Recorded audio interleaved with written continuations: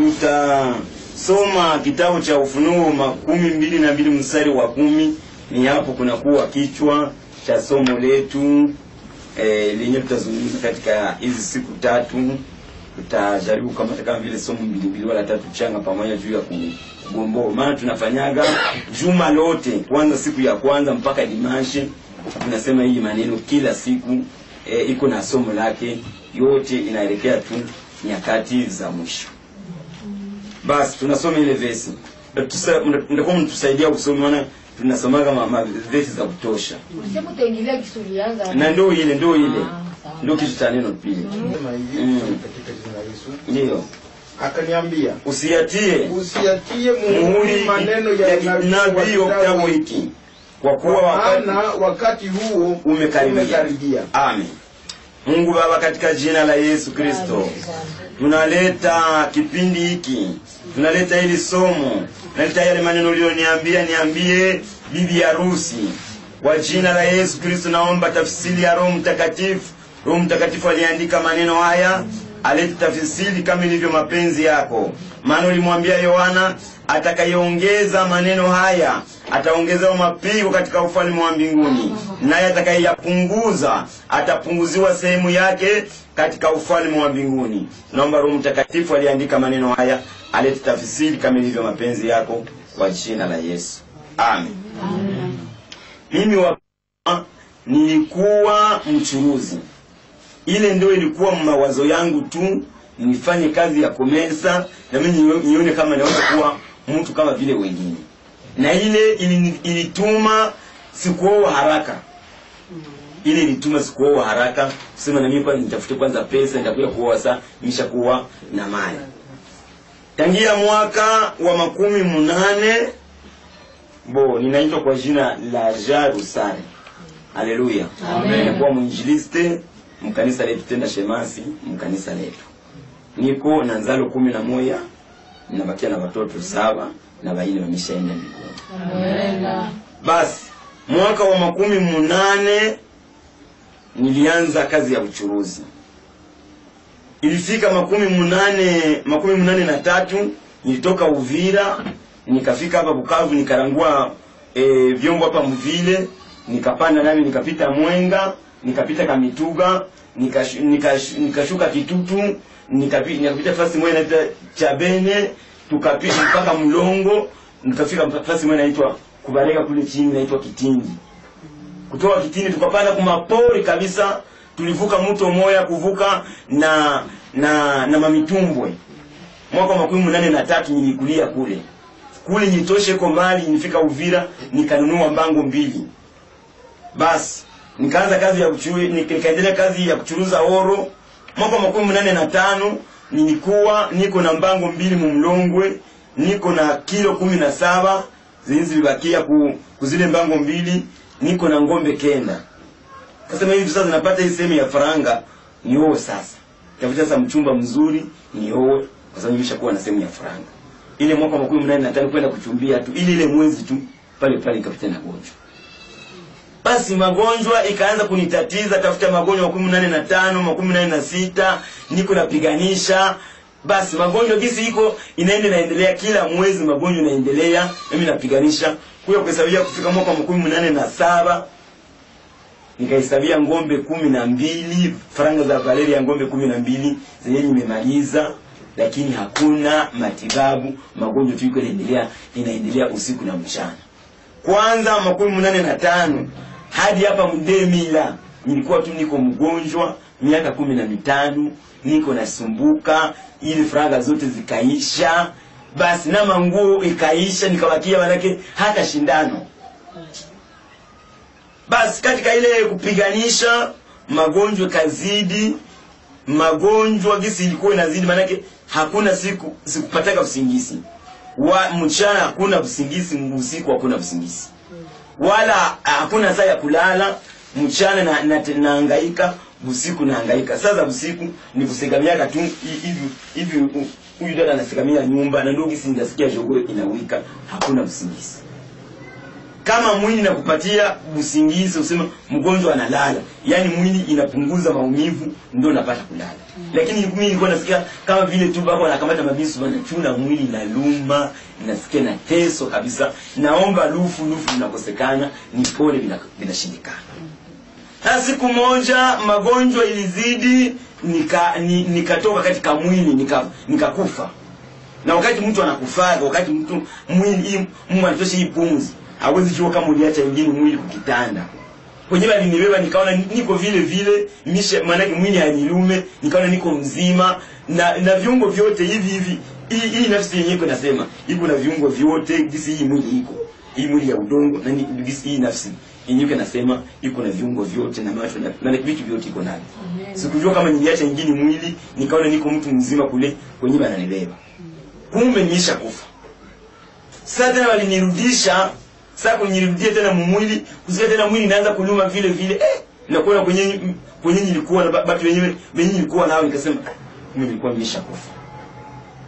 Ndio kuambia bibi mnyangulie ku, kumaombi ndio bakaniangulia kumaombi jamaa balinitazama bakachoka bakaheba. Unasikia kama mgonjwa ba- bajamaa bakingali banamwenda kumwangalia manake ni mgonjwa kidogo. Ba- manake manake mie kiu ilikatika wakapita wananiziria bibi yangu maana hakuna tena mwingine wa kupita kwangu wewe kuangalia kama mgonjwa anaikalaga hapo. Hakuna. Basi ni- bakaniangulia kwa maombi nikaanza kufuata maombi nikaanza kuombewa niko nusu mufu kama vile tu mnaonaga tu picha ya baganga ya sekeleti. Minofu yote imeshaga malizika inawekea tu mifupa kama vile tu sekeleti. Basi kule kumaombi nikakutana kuko amri mungu aliambia wale watumishi wenyewe walikuwa wanatuombea pale. Bagonjwa yote bafike saa kumi na moja ya, ya asubuhi hamuyapita dakika moja bagonjwa ba- bafike pale baombewe na kisha warudie kunyumba. Ukifika saa kumi na moja na dakika tano wala dakika tatu anakwambia rudia atapangula mipango yenyewe mungu alipanga kwa kituo chake. Sisi tuko watumishi tunafuata mipango ya mwenye kazi. Amen. na siye wagonjwa ilikuwa inakuya kufika saa kumi na moja watumishi watakuja kufika na kutana tumisha yala chumba hivi. Manake hatukuwa tunalala. Talala na, mm, na mwenye kuna kuluma manake naangalia tu usikie tu jogo ya kwanza ilie tu mm, na pale pale ananipatia fimbo naenda kumaombi basi siku moja ninatoka nyumbani niko na fimbo ninakuwa njiani mubarabara kutribini ya, ya, ya mlongwe. Kwenye wakubwa wanafikiaga niko pale nasikia sauti inaniita. Ja nasimama naangalia nyuma sioni mtu. Naangalia ingambo sioni mtu. Na, nyumba zote watu wengine wanafunga nyumba wanalala. Eh, eh, mimi ananiita ninasimama pale nasikiliza hakuna ingine sauti. Ninatoka pale ninasogea mbele. Fika tena mbele nasikia tena wananiita. Ja nasimama tena naangalia hakuna mtu. Eh, kitu gani pale pale ningali nasimama nasikia sauti. Tunasema hivi sasa sauti iko inatoka tunasema hivi uende kumaombi uombewe kisha urudie ukuye kufanya kipindi ya siku mbili humo ndio utakwambia maneno ya pasayo kufanya. Pale pale nikasikia ninajazwa na ile sauti kaniambia mimi ndio mungu niko nasema na wewe. Basi. Mungu mungu anasemaka. Basi. Nilibatizwa tangu mwaka wa makumi saba na sita lakini nilianza kufuata ubatizo mwaka wa makumi saba na nne. Kakuwa kubatizwa mwaka wa makumi saba na sita. Basi tangu nilibatizwa nilikuwa mkristo tu wa shughuli si- sikujuaga kama ku- ku- ku- kubaombaji kunaekelaga mavipindi ya ma- vile ha- havikuwa ndani yangu. Uniambie tu kwenye kuko vifaranga tu. Basi nikajielekeza kwa maombi ninafurahi sana roho yangu inafurika na baraka za mungu. Nikaenda kwa maombi nikaombewa nikarudia kuya kuona mtumishi mmoja wa, maombi, wa maombi alikuwa bwana mmoja mwenyewe atukitoke mnyumba. Basi nikaenda kumuuliza mi nilikuwa naenda kwa maombi wakaniambia nifanye kipindi. Sasa vile venye niliambiwa sivielewe wasa unione kunisaidia huu mwenyewe huku mwe vya maombi akaniambia hivi ile kipindi ni mafungo. Ulipewa mafungo ya siku mbili. Sasa utaanza asubuhi mpaka magharibi na magharibi wanakufanyizia uchi kidogo naitumia unalala mule m- mwele mafungo asubuhi yake unashinda mule jioni tena ya kesho unafanya tena uji unaitumia unalala mule asubuhi yako unamaliza. Lakini nitakuwa naambia mungu sasa ninakuwa hapa uniambie venye utaniambia. Basi akanielekeza vile nikaenda kuanza ile ile siku nikaanza asubuhi nikashinda mule nikafika jioni wakanifanyizia uji bukakucha asubuhi saa za saa tatu za asubuhi najilaza kwenye kitanda ninaregea lakini sisinzie nalala tu hivi machalichali nasikia sauti za wamalaika wawili wanakuwa mkusemea masikio. Neno lenye huyu anasema na huyu pale pale wote wanaitamkia kwa elimu ya masikio yote mawili. Huyu anasema uko na masikio magumu huyu naye anasema wote uko na masikio magumu. Nasikiliza. Bana niambia hivi ni muda mwingi mungu alikutafuta. Na sasa hivi tunakupata sasa tunalesile misio. Sasa hivi tunakuletea kazi yenyewe kwa neno unaambia bibi harusi mu makanisa. Tunakuambia hivi muda umemalizika. Wale hiyo maneno usiyafichike wale usiyaseme na boga muda umemalizika. Kunabakia muda mdogo. Na ule muda mdogo umebakia tu wa utakaso wa bibi harusi. Unasikia? Nikasema ndio ninasikia. Sasa tunataka kuingiza kwa masomo. Nikasema mie sikusomaka sikusomaka aseme roho mtakatifu ndio atakuwa mwalimu atakufundisha. Bakaniambia hivi mwenyewe anaweza kusomeshwa na watu na mwenyewe anasomeshwa na roho mtakatifu nani mwenyewe anaweza kuelewa maneno mengi ya kiroho? Nikasema mwenyewe anaweza mwenyewe anasomeshwa na roho. Ndio nilinunua biblia. Basi nikashinda mwa ile kipindi ukaingia usiku ukakucha asubuhi nikamaliza ile kipindi.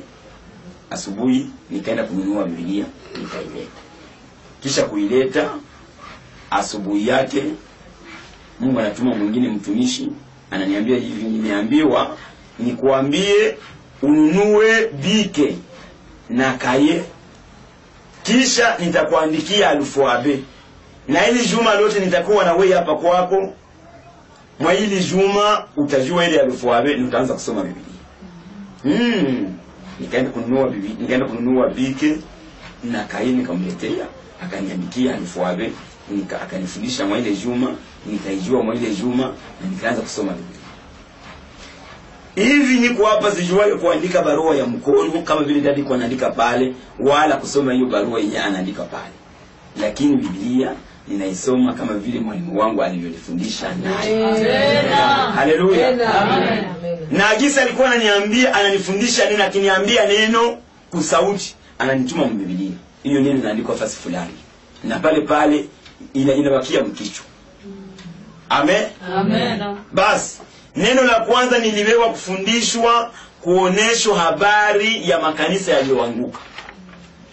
Ni- niliwewa katika roho nikakutana bwana iko anasema maneno makali sana juu ya makanisa yenye imetoka kumsingi wake.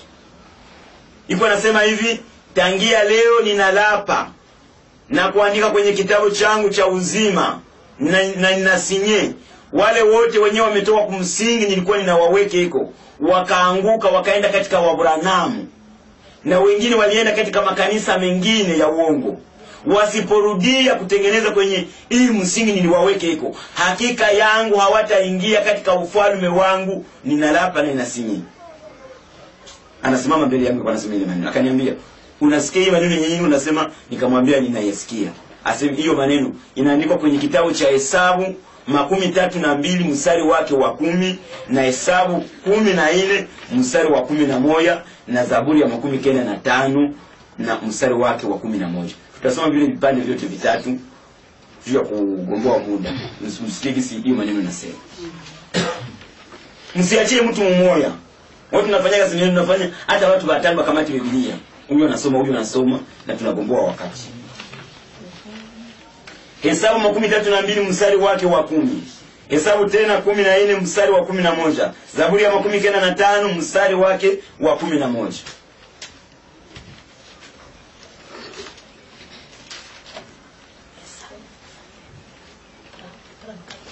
mtatukauza tukauza, ikawaka zikawaka. ndio. Akaapa akisema, hakika. Hakika hapana mtu mmoja katika wale watu waliotoka Misri. Toka miaka makumi, mbili na zaidi. Atakayeiona ile nchi niliyomwapia Ibrahimu na Isaka na Yakobo, kwa kuwa hawakunifuata kwa moyo wote. mwana wa Yefuni ndiyo. Yoshua. Mwana wa Nuni, kwa sababu wao wameniandama kwa moyo wote. Amen. Tunaenda Esau kumi na nne mstari wa kumi na moja. Mwenye atayarisha Zaburi ya makumi kenda na tano mstari wa kumi na moja. Bwana akamwambia Musa, ndiyo. Hata wakati gani watu hawa watanizarau mpaka lini? na hata wakati gani hawataniamini hata ikiwa nikafanya Ishara kubwa kwa ajili yao, kati yao ndiyo nikawapiga kwa tauni ndiyo na kuwaondolea Ulinzi wao. na nitakufanya wewe kuwa taifa kubwa kuliko wao. na lenye uwezo kuliko wao. Amen. Zaburi ya makumi kenda na tano mstari wake wa kumi na moja nikaapa kwa hasira yangu wasiingie katika raha rahani mwangu. Amen. Ah, Yesu. Amen. Amen. Nani mwenye anasema? Mungu. Hapa kwa hii barabara kutoka kuisansi baburanamba lijaza kanisa kubwa sana. Kama kama mnapita pale amen. Lakini nakwambia baburanamu ba ba baombee mgonjwa kwa jina la yesu anapona si mungu anafanya ile kazi. Bakiambia mlima toka hapa kwa jina la yesu na, na mlima unaondoka haiko mungu hiyo nakwambia ni amina na kweli. Mm. ni mambo magumu baliingia makufuru makufuru ma, makubwa. Kukufuru roho mtakatifu. Maana vile yesu anasema dhambi zote zitasamehewa wanadamu walizozifanya. Lakini atakayekufuru roho mtakatifu hana msamaha milele naye ana dhambi ya mauti hiyo zambi kama un, unagusia ile maana yake dhambi zote unaweza kutukana mungu na unaungama na un- un- unahurumia. Unaweza kutukana yesu na unaungama na lakini kama una, unakufuru una roho mtakatifu e bwana unavala maneno makubwa. Maneno makubwa shingoni. Basi ndo hivyo mungu iko pale pale wala ha, hageuke. Na hii miaka ya karibu karibu balifika eh, kule kwetu kulifika nabii wao moyo wa kutoka kutoka dar es salaam alikuwa anaitwa eh, eh, nabii moyo wa uranamu alitoka kule dar es salaam. Alikuja kuwadanganya uvira mpa, na, na wakati huu nikaambiwa sema nataka kufikisha ba- baburanamu kumwisho ilifika ule nabii wao anabadanganya mpaka mtu kutembea na mama yake mtu kutembea na dada yake mwenye alizala uvira jana. Na wakatoka na aseme iko anababeba kwa- ku, e, anabebeba Yerusalemu kufika Goma aka- akawanyang'anya faranga zote akapita na jichombea akashinde. Kwa naitwa ndege mkali. Na inaandikwa eh, inaandikwa muisaya basi hiyo ndio somo la kwanza nimeingizwa kuonyeshwa habari ya makanisa iliyoanguka. Na leo duniani manabii wa uongo wanajaa wengi sana. Makanisa mengi ulimwenguni haikutumwa na mungu ndio maana wakati mkristo mwenyewe aliokokea mkanisa la kipentekosti usijaribu kutoa useme uende kwa makanisa ya bongo bongo. turu ya pili nilibewa kufundishwa habari ya ekimenizime wala sikuwa naijua. Nazo hizo habari ziko ngumu nazo zinakaribia zimekwisha kutayarishwa mnivomo ya yulu Nilibewa hapa msidi kivu kwa kanisa moja. Nikaona kuko mkutano mkubwa na kuko watu wengi wengi sana kama vile mchanga wa bahari. Na ule mkubwa alikuwa anakaribisha wenzake karibu wana wa ekimenisme karibu wana wa ekimenisme iko anafanya mikono hizi. watu wanaingia mwa ile mkutano wengi sana. Mimi nilipokaribia kuingia mwa ile mkutano roho mtakatifu akanikimbiza kunitosha mbali na ule mkutano. Nikatoka mwa ile ndoto sikuelewa ekimenizmi nini. Ili siku ikapita kapita kama vile miezi ngapi? Kulala tena bananibeba katika roho tena nikaona tena ule ule mkutano hapa msidikivu mkutano wa ekimenizme unakusanya watu wengi sana. Na ule mkuu weko nakaribisha zake karibu wana wa ekimenizme watu wanaingia mwele mkutano. Mimi mwa mwele mkutano nikafukuzwa tena.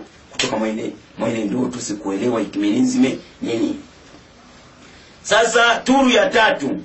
Nilisikia sauti inaniita inaniambia hivi kuna kuja kanisa moja na hilo kanisa linabeba watu yote ya dunia nzima. Wala halikuacha hata mtu mmoya na bapagani na bakristo lile kanisa limebeba batu yote wa kontina tano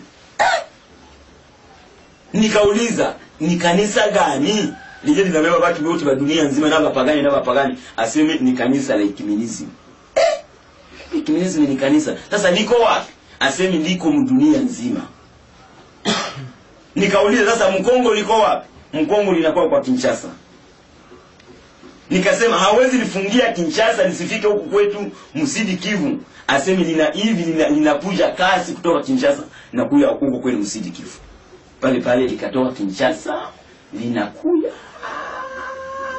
kama vile ambio iko mwanga naiona naona hiyo maneno waziwazi hivi kufika tu mwanga ya msidi kivu yulu ya manyumba hivi. Kanisa likanyakuliwa wakapishana hivi. Ekumenisme inakuja msingi kivu kanisa linanyakuliwa kwenda kumlaki bwana mawinguni Amena. Amena. nikasikia wananiambia hivi sitaacha ekumenisme itumike na bibi harusi mu makanisa muda mrefu itafanya haraka nitoshe bibi harusi asije akachafuke ndo kwanza kuelewa kumbe ikimenizime iko najisi mbele ya mungu kumbe iko ya uchafu iko ya hatari. Ndio turi ya tatu kwanza kuelewa ikimenizime sasa nikaingizwa msomo la ikimenizime turu ya ine wananileva kukanisa moya wananiambia usimame hapa utaona venyewe vitatokea hapa kukanisa na hii maneno yenyewe nakuonesha ndio yenyewe itakuwa siku bibi harusi atanyakuliwa. Hii maneno haitakuwa haitapita haita- bila kwenda mnayaona na macho yenu ya nyama makanisa basi nikasimama pale. Bananiambia tazama mzuri. Nikatazama pale kumkanisa kunakuwa mkutano mkubwa wa kiinjili ya kipentekoste. Ilikuwa ni kanisa la kipentekoste. Nikasimama pale. Bananiambia niambia uikale tu utazame tu ukazie macho pale mkutano.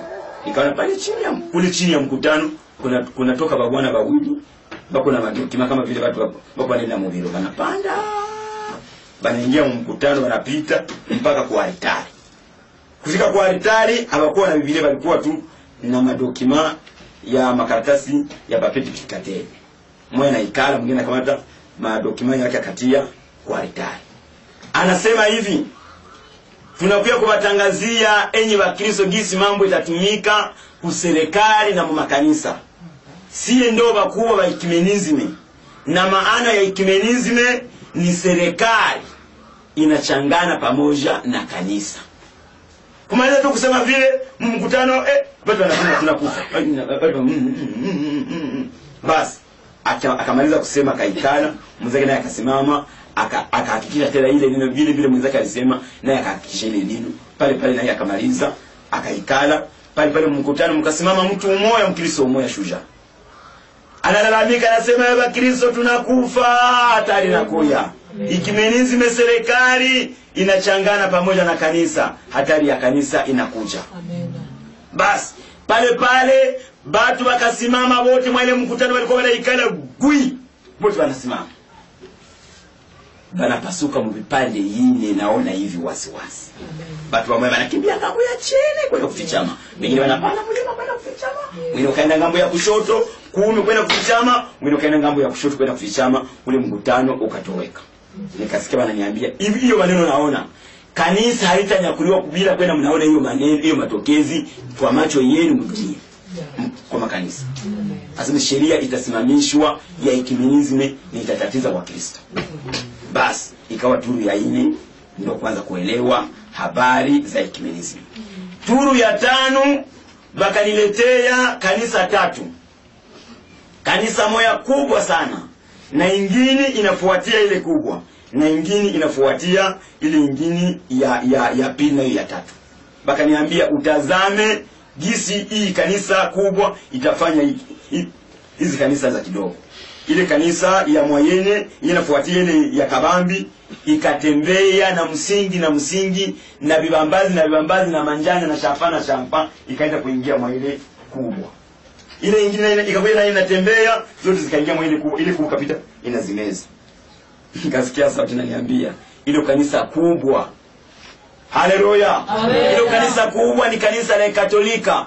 Litameza makanisa yote ulimwenguni hakuna kanisa lingine litabakia lenye halitaingiaga humo haleluya.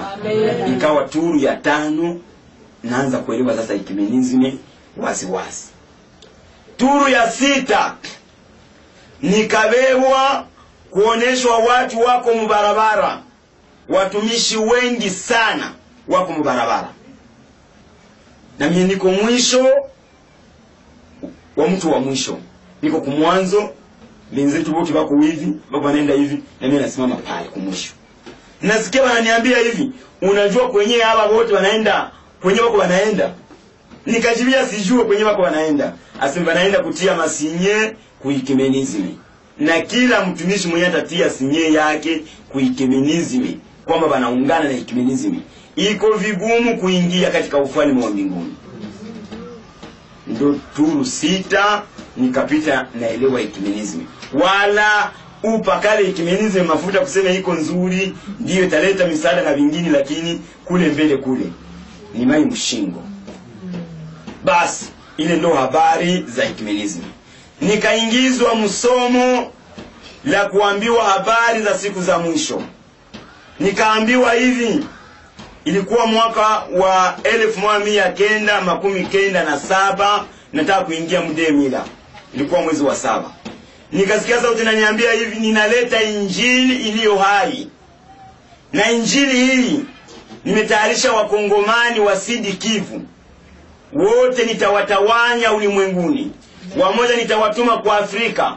Wengine nitawatuma mwerope. Wengine nitawatuma kwa amerika. Wengine nitawatuma muazia na wengine nitawatuma muusiani na watu hawa nimetayarisha nitawatuma mbali wenyewe nitawatuma mbali hawatarudiaga tena mkongo.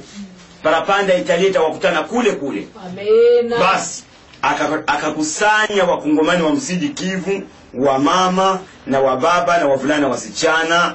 Anatusimamisha ana, ana, ana mumkutano na mimi mwe- mwene mkutano nilikuwemo. Sauti kasema nimewapatia injili iliyo hai na hii injili itaokoa waislamu wengi duniani.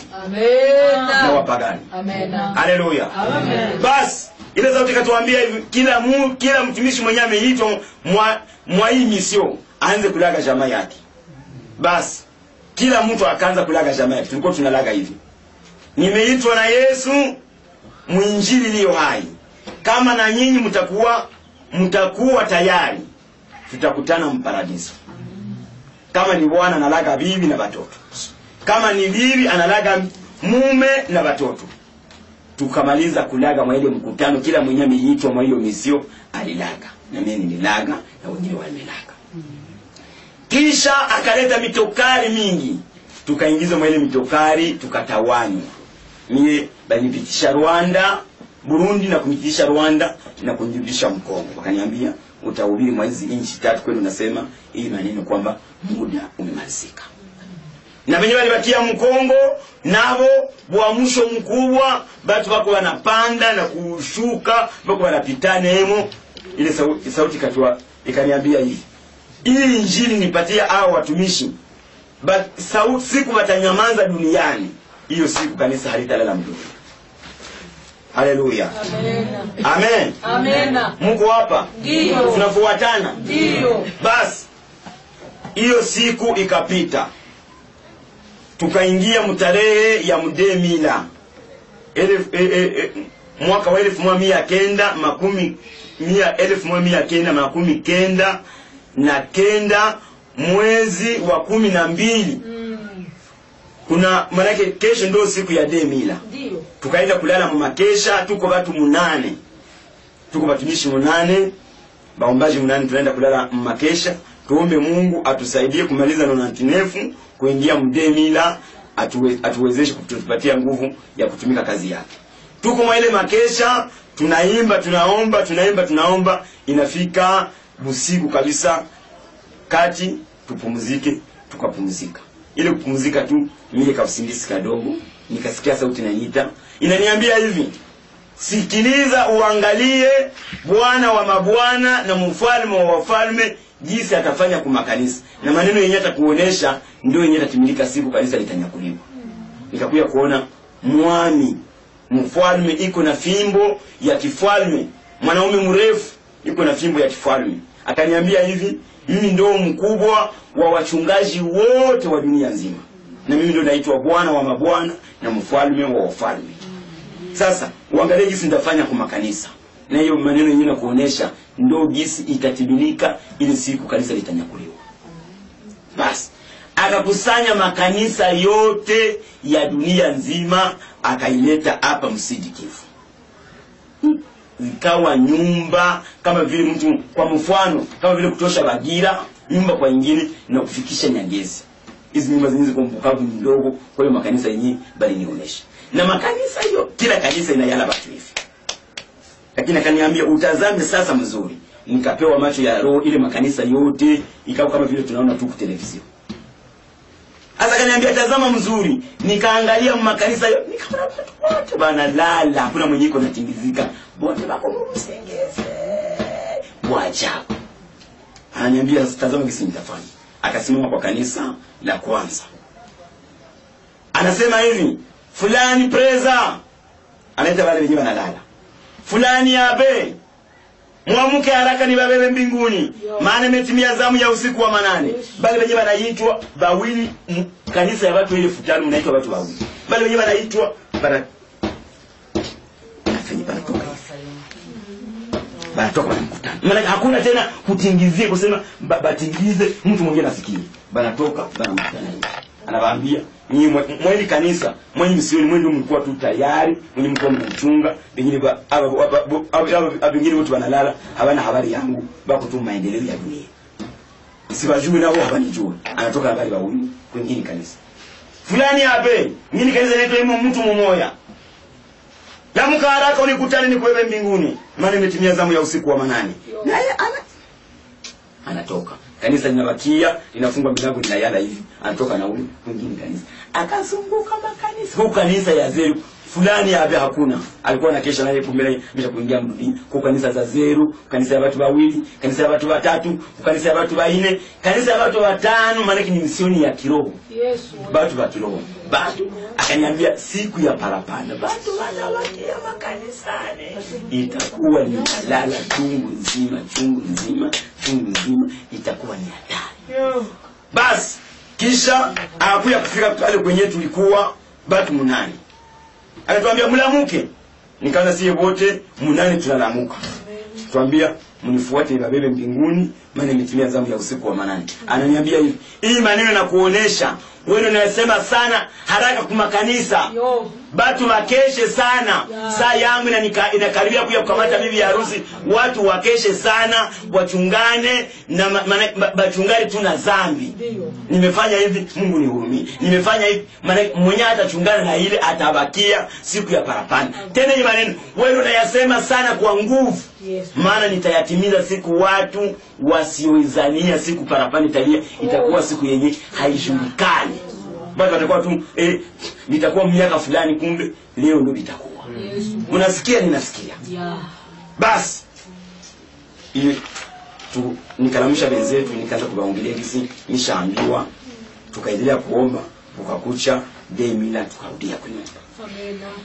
haleluya amen, amen amen. basi ile somo liposimamia pale nikafunuliwa habari ya ziki ku, ya, ya ziki ya kanisa. Mbele kanisa inyakuliwe tunaingia tuna muziki ya kanisa. Na ziki ya kanisa inapangwa na ikiminizmi mwa miaka ya karibu karibu. Kama mwenye hata kufa leo nitakuja kuona vile vitatokea eh, kwa makanisa kesho.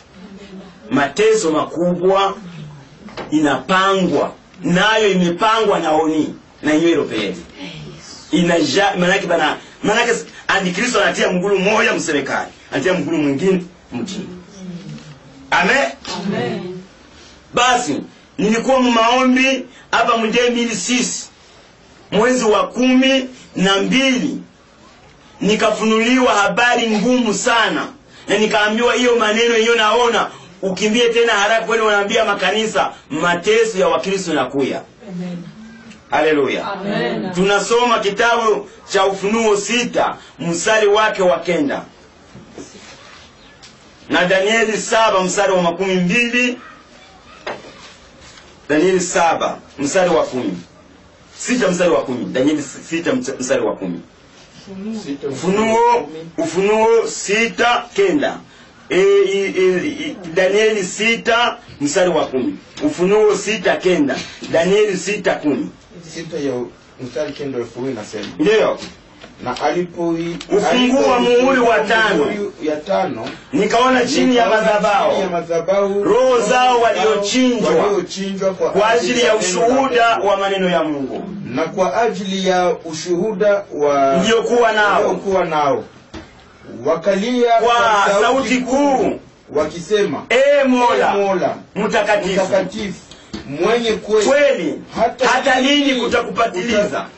twende. kutokubali kutokuhukumu wala kupatia Haki zetu yetu.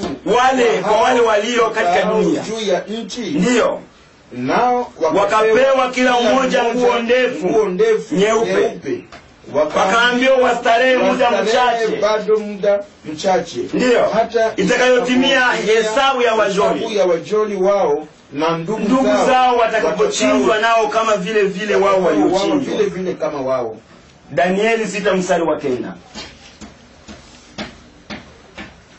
Kwa hivi mfalme Dario ndiyo aliweka mkono chini ya maandiko na amri. ndiyo Wakati Danieli alipojua ya kuwa maandiko kwamba imekwisha shiwa- tiwa sahihi. akaingia nyumbani mwake. ndiyo Basi madirisha Yerusalemu, wazi chumbani mbani mwake ya kuelekea Yerusalemu. ndio ndiyo Akapiga magoti, Magoti mara tatu. kila siku ndiyo akaomba Akashukuru mbele ya Mungu wake. kama mbele. Alafu watu hawa walikusanyika wakakuta Ndiyo. Danieli Anaomba Mungu. na kusiri mbele ya Mungu Ndiyo. wake. Mm. Alafu wakakaribia Ndiyo. wakasema mbele ya mfalme ya amri ya mfalme. Ndiyo ndiyo. Wewe haukutia sahihi. Ndiyo. amri ile Ndiyo. ya kwamba kila mtu atakayeomba dua kwa mungu wowote wala kwa mtu awaye- yote. Katika siku Makumi tatu. ila kwako kwako e mfalme ataku atatupa katika tundu la simba. simba. Ndiyo. Mfalme akajibu akasema akasema neno hili ni kweli ndiyo. Sawasawa na sheria sheria yetu ya Wamedi na wajemi iliyogeuka haiwezi kubadilika. halafu wakajibu na, kus, na kusema mbele ya mfalme ndiyo. Danieli yule aliye na aliye wa wana wa, Wa Yuda. wa Yuda. Ndiyo. Hakuheshimu sheria yako. mfalme wala amri uliyotia mkono, lakini anaomba mara tatu kila siku. ame tuachie palile inatosha. Amen. Amen. amen. Hiyo maneno ndio inakungojea inatungojea. Watakatifu kama uko raia wa kwenda mbinguni ile maneno ya kuchunga ukatale usipokatala kipimo kikubwa kinakuja. Sasa ikimenizime imepanga mipango sita tano kusita yaani nachangana na serikali. Na mipango leo inakuwa muoni. Oni ndo mwenyewe atapa, ata, ataleta mipango sasa kuki, kwa, kwa kila kwa kila nchi na gisi mipango itatumika kwa kila kwa kila kanisa. Sasa mipango wana, wana mipango misha yale ya kuchanga dini liwe kanisa moja kanisa moja duniani iwe dini moja kan, duniani. Na kisha lile dini litakuwa na sheria moja maabudio mamoja. Litakuwa na ubatizo moja. Batumishi wote watabashurutisha kuvala makanzu na misalaba. Amen, Amen.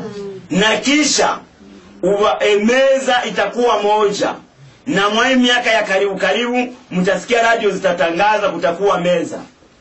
Ya kuunganisha madini yote kwa nivu ya oni itakuwa kwa, huyo, itakuwa kwa amerika. Haleluya. Kisha kuunganisha kufanya meza moja ya ku, kupresente dunia yote. Na kisha sasa watakaulia kila nchi kila nchi ifanye meza ile. Kila nchi ifanye meza ile. Basi na wakati watafanya ile meza litakuwa itakuwa sasa dini linamwasi mungu haleluya Amen. amen. Amen. tunasoma wa tesalonike tunasoma watesalonike wa pili. Barua ya paulo kwa watesalonike wa pili mbili mstari wa kwanza. Paulo ameandika maneno hayo kanisa liwezi kwenda mbinguni bila maasi yayo kwenda inatokea duniani. Ndio. Wa pili barua ya paulo kwa watesalonike wa pili mbili mstari wake wa kwanza. Basi tunawasihi ninyi ndugu juu ya kuja kwake. bwana wetu yesu kristo. Na kusanyiko yetu mbele yake. Twende. upesi. Katika mawazo yenu. wala kwa roho. Wala wala kwa neno. neno wala kwa barua inayozaniwa kuwa ni yetu, kwetu, kwamba siku ya Bwana imeshakuwako. ndiyo. Danganyi kwa njia yoyote. maana haiji isipokuja ule uwasi yake yafike mbele Ndiyo. akafunuliwa yule mtu wa akafunuliwa. Mwana wa uharibifu. Yeye jinua kukila kiitwacho mungu. Mwenyewe juu ya yote itwa mungu ama kuabudiwa hata yeye mwenyewe hekalu la Mungu akijionyesha nafsi yake kwamba yeye ndiye Mungu.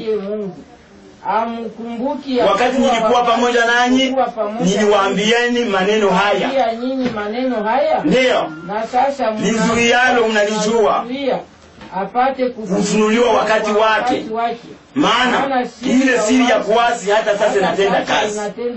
ndiyo Zuiza, hata atakapoondolewa. hata atakapoondolewa. Ndipo atakapofunuliwa yule asi ambaye bwana yesu atamuua katika pumzi ya kinywa chake na kumwangamiza kwa ufunuo wa kuja kwake. Amen. Paulo anasema kwa habari ya kuja kwa yesu kristo mtu asikudanganye kwamba siku ya bwana imeshaga kuwa wala imeshaga pita mtu yoyote iwe kwa ufunuo wa roho iwe kwa barua kwa mafundisho mengine mtu asikupotoshe kwamba siku ya yesu imeshaga pita siku ya yesu ya kuja kukamata kanisa haitatokea duniani bila maasi ya dini kusimama. Amen, Amen. Mtakapoona tu maasi ya dini nasimama, banafanya meza ya kishetani, basi pale pale Yesu naye yuko karibu kutosha kanisa lini mbinguni. Na wakati sasa, haleluya, tunafuatana. Na wakati sasa ile sheria itasimamishwa, wakati ile sheria ya ecumenism itasimamishwa, basi pale pale kutagabuliwa na Biblia za mpya. Zenye zitakuja kugombora hizi zenye tuko nazo, zimeshatengenezwa. Zimeshatengenezwa huko. Askofu moja wa Ujerumani ameshatangaza mara mbili kwa radio, anasema Biblia mpya zenye zitakuja ku- zenye zenye tutagabula mdunia ziko tayari, lakini mbele ya kuzigabula tutamwona kwanza misaada, ndio yale kwanza dunia, ndio tutakuja kukabula Biblia nyuma. Na zile Biblia banatosha emo danieli banatosha emo ufunuo habari zote za andikilizo zote wanazimisha habari za ezekieli habari za Te- Te- tesalonike wa pili hivi zenyewe tunasema bo vyote wakorinto wa pili sita mstari wa wa kumi na nne ili hakuna ushirika wa giza na nuru vyote wanatosha. Basi banaandika eh, eh, pale tunasoma mnyama banaandika ngombe wala mbuzi. Ujue kama mbuzi haina hatari amen. Na hiyo wakati itakuwa ni wakati wa giza. Lisansima batafanya lisansima kwa mabibilia yote ya dunia nzima makomunote yote. Banato bibilia banabeba banaleta zingine banagabulia bakristo basi kwa wakati huo bibi harusi atakapoona vile sauti itafikia kila aliyeitwa na mungu wa kwenda mbinguni. Awe mchungaji wa kwenda mbinguni. Awe representa wa kwenda mbinguni kila mpaseri wa kwenda mbinguni kila shemasi wa kwenda mbinguni kila mwombaji wa kwenda mbinguni sauti ya mungu itafika na kuambia bibi harusi tokeni kati yake mkatengwe naye. Inaanguka. Ni ufunuo kumi na mnane mstari wa ini tunasoma pale. Kumi na mnane mstari wa ine ufunuo.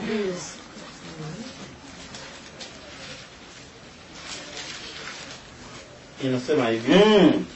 Kisha nikasikia, nikasikia sauti nyingine nasema, ndiyo tokeni tokeni kwake enyi watu wangu. msishiriki zambi zake. wala msipokee mapigo yake. yake. Maana zambi maana dhambi zake zimefika hata mbinguni. na mungu amekumbuka amekumbuka maovu yake. amen. Amen. Saa hiyo iko karibu na saa hiyo itakapo itakapotimilika bibi harusi atatoka mjini. Hiyo nakuambia ni amina ya kweli uandike kama uyakufa kabla kuona hiyo maneno. Wakati sasa watakatifu wote mungu anawaambia tokeni kati yake. Watajiretire mumisioni fulani kumetoka watu fulani mji fulani kumetoka watu fulani mji fulani kumetoka watu mamia wala maelfu. Basi wale wote lisansima hizo habari zitajulikana kuserikali naoni atapata zile habari na ataamuru serikali zote za dunia zitume basoda waanze kutafuta bale wakristo wenyewe wamejitenga na ile sheria ya ikiminizmi sasa ndo watu start, sasa bale wenyewe watajitenga hawataenda kufanya tena kanisa wala waende kufanya maombi nafasi fulani. Itakuwa sasa ni saa ngumu saa nzito za ziki ya kanisa. Ba- bawili lwavo wanajifisha lwavo batatu lwavo baine lwavo mumoya lwapi. haleluya. Na sente bali bako wanaenda wanazunguka kujua ah, bali batu bako wanaombea wapi bali batu bako wanakusanyika wapi Mu- bakijua tu kwa fulani ndio kwenye huko wanakusanyika. Mtasikia tu kumlango. Anatokea na maguruki pale. Na pale pale mko mko mleka mko batano kama mko baini mm, komande mnafungwa komande na kubeba kumisama haleluya. Nikaona chini ya mazabao roho zao waliochinjwa kwa ajili ya ushuhuda wa yesu kristo na kwa ajili ya maneno ya mungu waliokuwa nao basi wale wenye watakamatwa wanachinjwa kama vile tena wa petro walichinjwa kama vile bayohana bamechinjwa kama vile ba, ba paulo bameuawa kwa ajili ya maneno ya mungu. Kisha kuuawa nombre yenye iko makanisa yenye tachinjwa kwa wakati huu watachanga kanisa kuwa moja. Ndo nombre itaeneza hesabu mbinguni ndio kanisa linyakuliwe. Mbele hesabu ya yenea kule hatuyachinjwa duniani. Kanisa haliyatoka mdunia mpaka tukamatwe tena tuanze kuchinjwa kama vile wenzetu wamechinjwa kwa ajili ya maneno ya mungu. Ndo hesabu yeneye kule na wenyewe watachinjwa wenyewe watabakia wenyewe wanakimbia mbali. Maana watu wengi watakimbia maviladi kwenda kufichama mbali. Mbali kabisa wenyewe wanajulikana wenyewe wako na majina wa makanisa ni kukimbia mbali. Na wenyewe habana majina wenyewe wanajulikana wa makanisa. Jukupo wakristo wamoya bako mkanisa lakini kufatana na wingi wa wakristo. Ndio yakutana na kanisa iko na watu elfu nne. Mchungaji habajue bote na bapasera habajue bote lakini wao wanajua watumishi yao. Ndo uponyoka pale wenyewe habajulikani ndio wanaombea kisirisiri mwingine na watu wajulikana wako wanaombea wapi. Wala tena hakuna wa kuonesha biblia basi biblia ni kwenda kufichika mbali ni kusomea ni kusoma huko natia mdomo chini maanake mtu mwenyewe anapita ku, kunyumba sisikii ndisu huko nasoma biblia hiyo muda inakaribia haleluya Amen. amen Amen. aseme danieli alipoku alipojua kwamba ile maandiko wakati alikuwa babeli na wakaona watu wa babeli wale wakuwa wenyewe walikuwa wanatumika na na presida bakaona sasa danieli tutamkamata namna gani kwa kumkataza siombe mungu wake? Watu wengine wakasema mkitunga sheria kwa neno lolote danieli hamwezi kumunasa maana iko mtu iko mtu wa mungu wala hana kosa lolote wala hana hana maneno na, Mungu- na mtu mwingine. Lakini mkimtegea tu kwa mungu wake mkimkataza asiombe mungu ni pale tutamnasa. Basi sheria ikatungwa kwa ajili ya kuabudu mfalme. Na wakatia sahihi basi na kwa presida naye akasinyia basi na daniel alipojua kwamba maandiko yale yamekwisha kutiwa sinye kwa ajili ya kumwinda yeye naye amefunga mlango wake akafungua madirisha yote yenye ilikuwa inaelekea yerusalemu. Basi yule kama anafichama kila watu wote wenyewe walikuwa wanapita basi kama iko anaomba mungu wake iko tayari kungojea mateso yale kutupwa katika tundu la simba basi na baserite pale pale wenye walitunga ile sheria balikimbia haraka kuja kusikiliza kupitia pita pale ukibambazi basikilize balisikia danieli iko naomba na wengine wako nachungulia nduli iko naomba na pale pale bali- balibeba raporo kwa presida banasema e mfalme haukusinye kwa ile dokima kwamba kwa hii siku makumi tatu hakuna mungu mwengine mwenye ataombwa mwa hii nchi yako wala hakuna dua yoyote lenye taombwa kwa mungu mwengine wala kwa mtu yoyote. Mfalme akasema ndiyo tumetia tumetia sahihi. Basi wakamwambia sasa danieli ule mwibrania mtu mwenye ametoka kwa yerusalemu iko anaomba mungu wake tena iko anaomba mara tatu. E, hatari sasa Daniel alikuwa rafiki yake mfalme. Mfalme akajaribu kusema amtetee amponye. Bakamwambia e mfalme havitawezekana. Haukuandika haukusinya kwa ile haukusinya kwa ile dokima sheria ya waamedi na wajemi haiwezi kubadilika vile tu tusisebo tusiye mpaka ule mtu mwenye haku, haku, hakutii sheria yako mpaka atupe kwenye tundu la simba. Na bakafanya simba bana, banafanya kama vile siku ngapi? Simba bila kuzipatia chakula ziwe na njala sana ndo zikule danieli mzuri. Haleluya. Amen, amen. mnaanza kusinzia. Ingia nawe kati zizi la bwana. Ingia nawe uhesabiwe ingia nawe kati zizi la bwana. Uhesabiwe uwe kono wake. Ingia nawe kati zizi bwana. Ingia nawe uhesabiwe. Ingia nawe kati zizi bwana. Uhesabiwe uwe wake. Hii masiku nilisikia wako wanaimba hiyo wimbo. Banasema hivi haleluya aseme kila mkristo aingie kwenye zizi la bwana ili yesu aanze kukuhesabia kama uko mkikundi chake uko asema wakristo wengi makanisani wako tu wakristo wa jina lakini hawajiingize kwenye kikundi cha mungu mkanisa hapa mchumba cha maombi jiingize uwe kondoo wa yesu hapa kwa ichumba cha betania. Usio mkristo tu muombaji tu wa jina na kumbe hauisabilike mungu akujue katika kikundi cha hapa betania. Yesu tusaidie. haleluya. Amen. Amen. Basi pamoja na hiyo ni hivyo itakuwa. Hiyo maneno inatungojea ukatale usikatale. Hata waleprezanta wateteye, hata wachungaji wateteye, hiyo mzani inakuja mateso ya watakatifu imepangwa. Nayo inakaribia inakaribia. Na katika wenye watafungwa mie mungu amesha nionyesha karibu turu ngapi. Ninafungwa niko ninatupa mtanuru ya moto ninatupa msi, mtundu la simba pamoja kwa ajili ya hii maneno amenipatia kwenda ninayasema. Ile mateso inaningojea inangojea watakatifu wengine. Sasa wajibu wako ajibu wajibu wako uombe mungu. Niombe mungu anitie nguvu. Uombe mungu akutie nguvu. Siku watakukamata na kusema huyu naye alikuwa anaomba pale kubetania huyu. Sema mzuri. Ulikuwa naomba kubetania? Eh, eh, eh, hapana hapana. Mimi siyafika pale kubetania. Lakini kama utakuwa mungu amekutia nguvu sawa za kukamata na unaomba kubetania unamwambia ndio na mimi naomba kubetania niko pamoja na wenzetu. Ah mfanye wenyewe mnaona hatuwezi hatuwezi acha. Hatuwezi katala maneno yenyewe tumeona kwa mungu. Wala hatuwezi katala maneno yenyewe tumesikia kwa mungu. Tuko watumishi ya mungu. Fanye amen, amen, haleluya. Amen. Amen. Tunasoma matendo ya mitume. Makumi mbili na moja na mstari wake wa kumi na moja matendo ya mitume makumi mbili na moja na mstari wa kumi na moja. Akatufikia ndiyo akatoa mkaba wa paulo. Tuanze kukenda ndio watu waelewe mzuri ndiyo kenda. Eh, mtu huyu Eh. alikuwa na binti wane ndiyo mabikira Mabikira. kutabiri. Ndiyo basi anga, angali, agabo. Ag- angali ndiyo ndiyo twende twende. Basi angali tulipokaa kule siku nyingi. Ndiyo nabii mmoja anaitwa angabo. ndiyo akashuka shuka kutoka yerusalemu.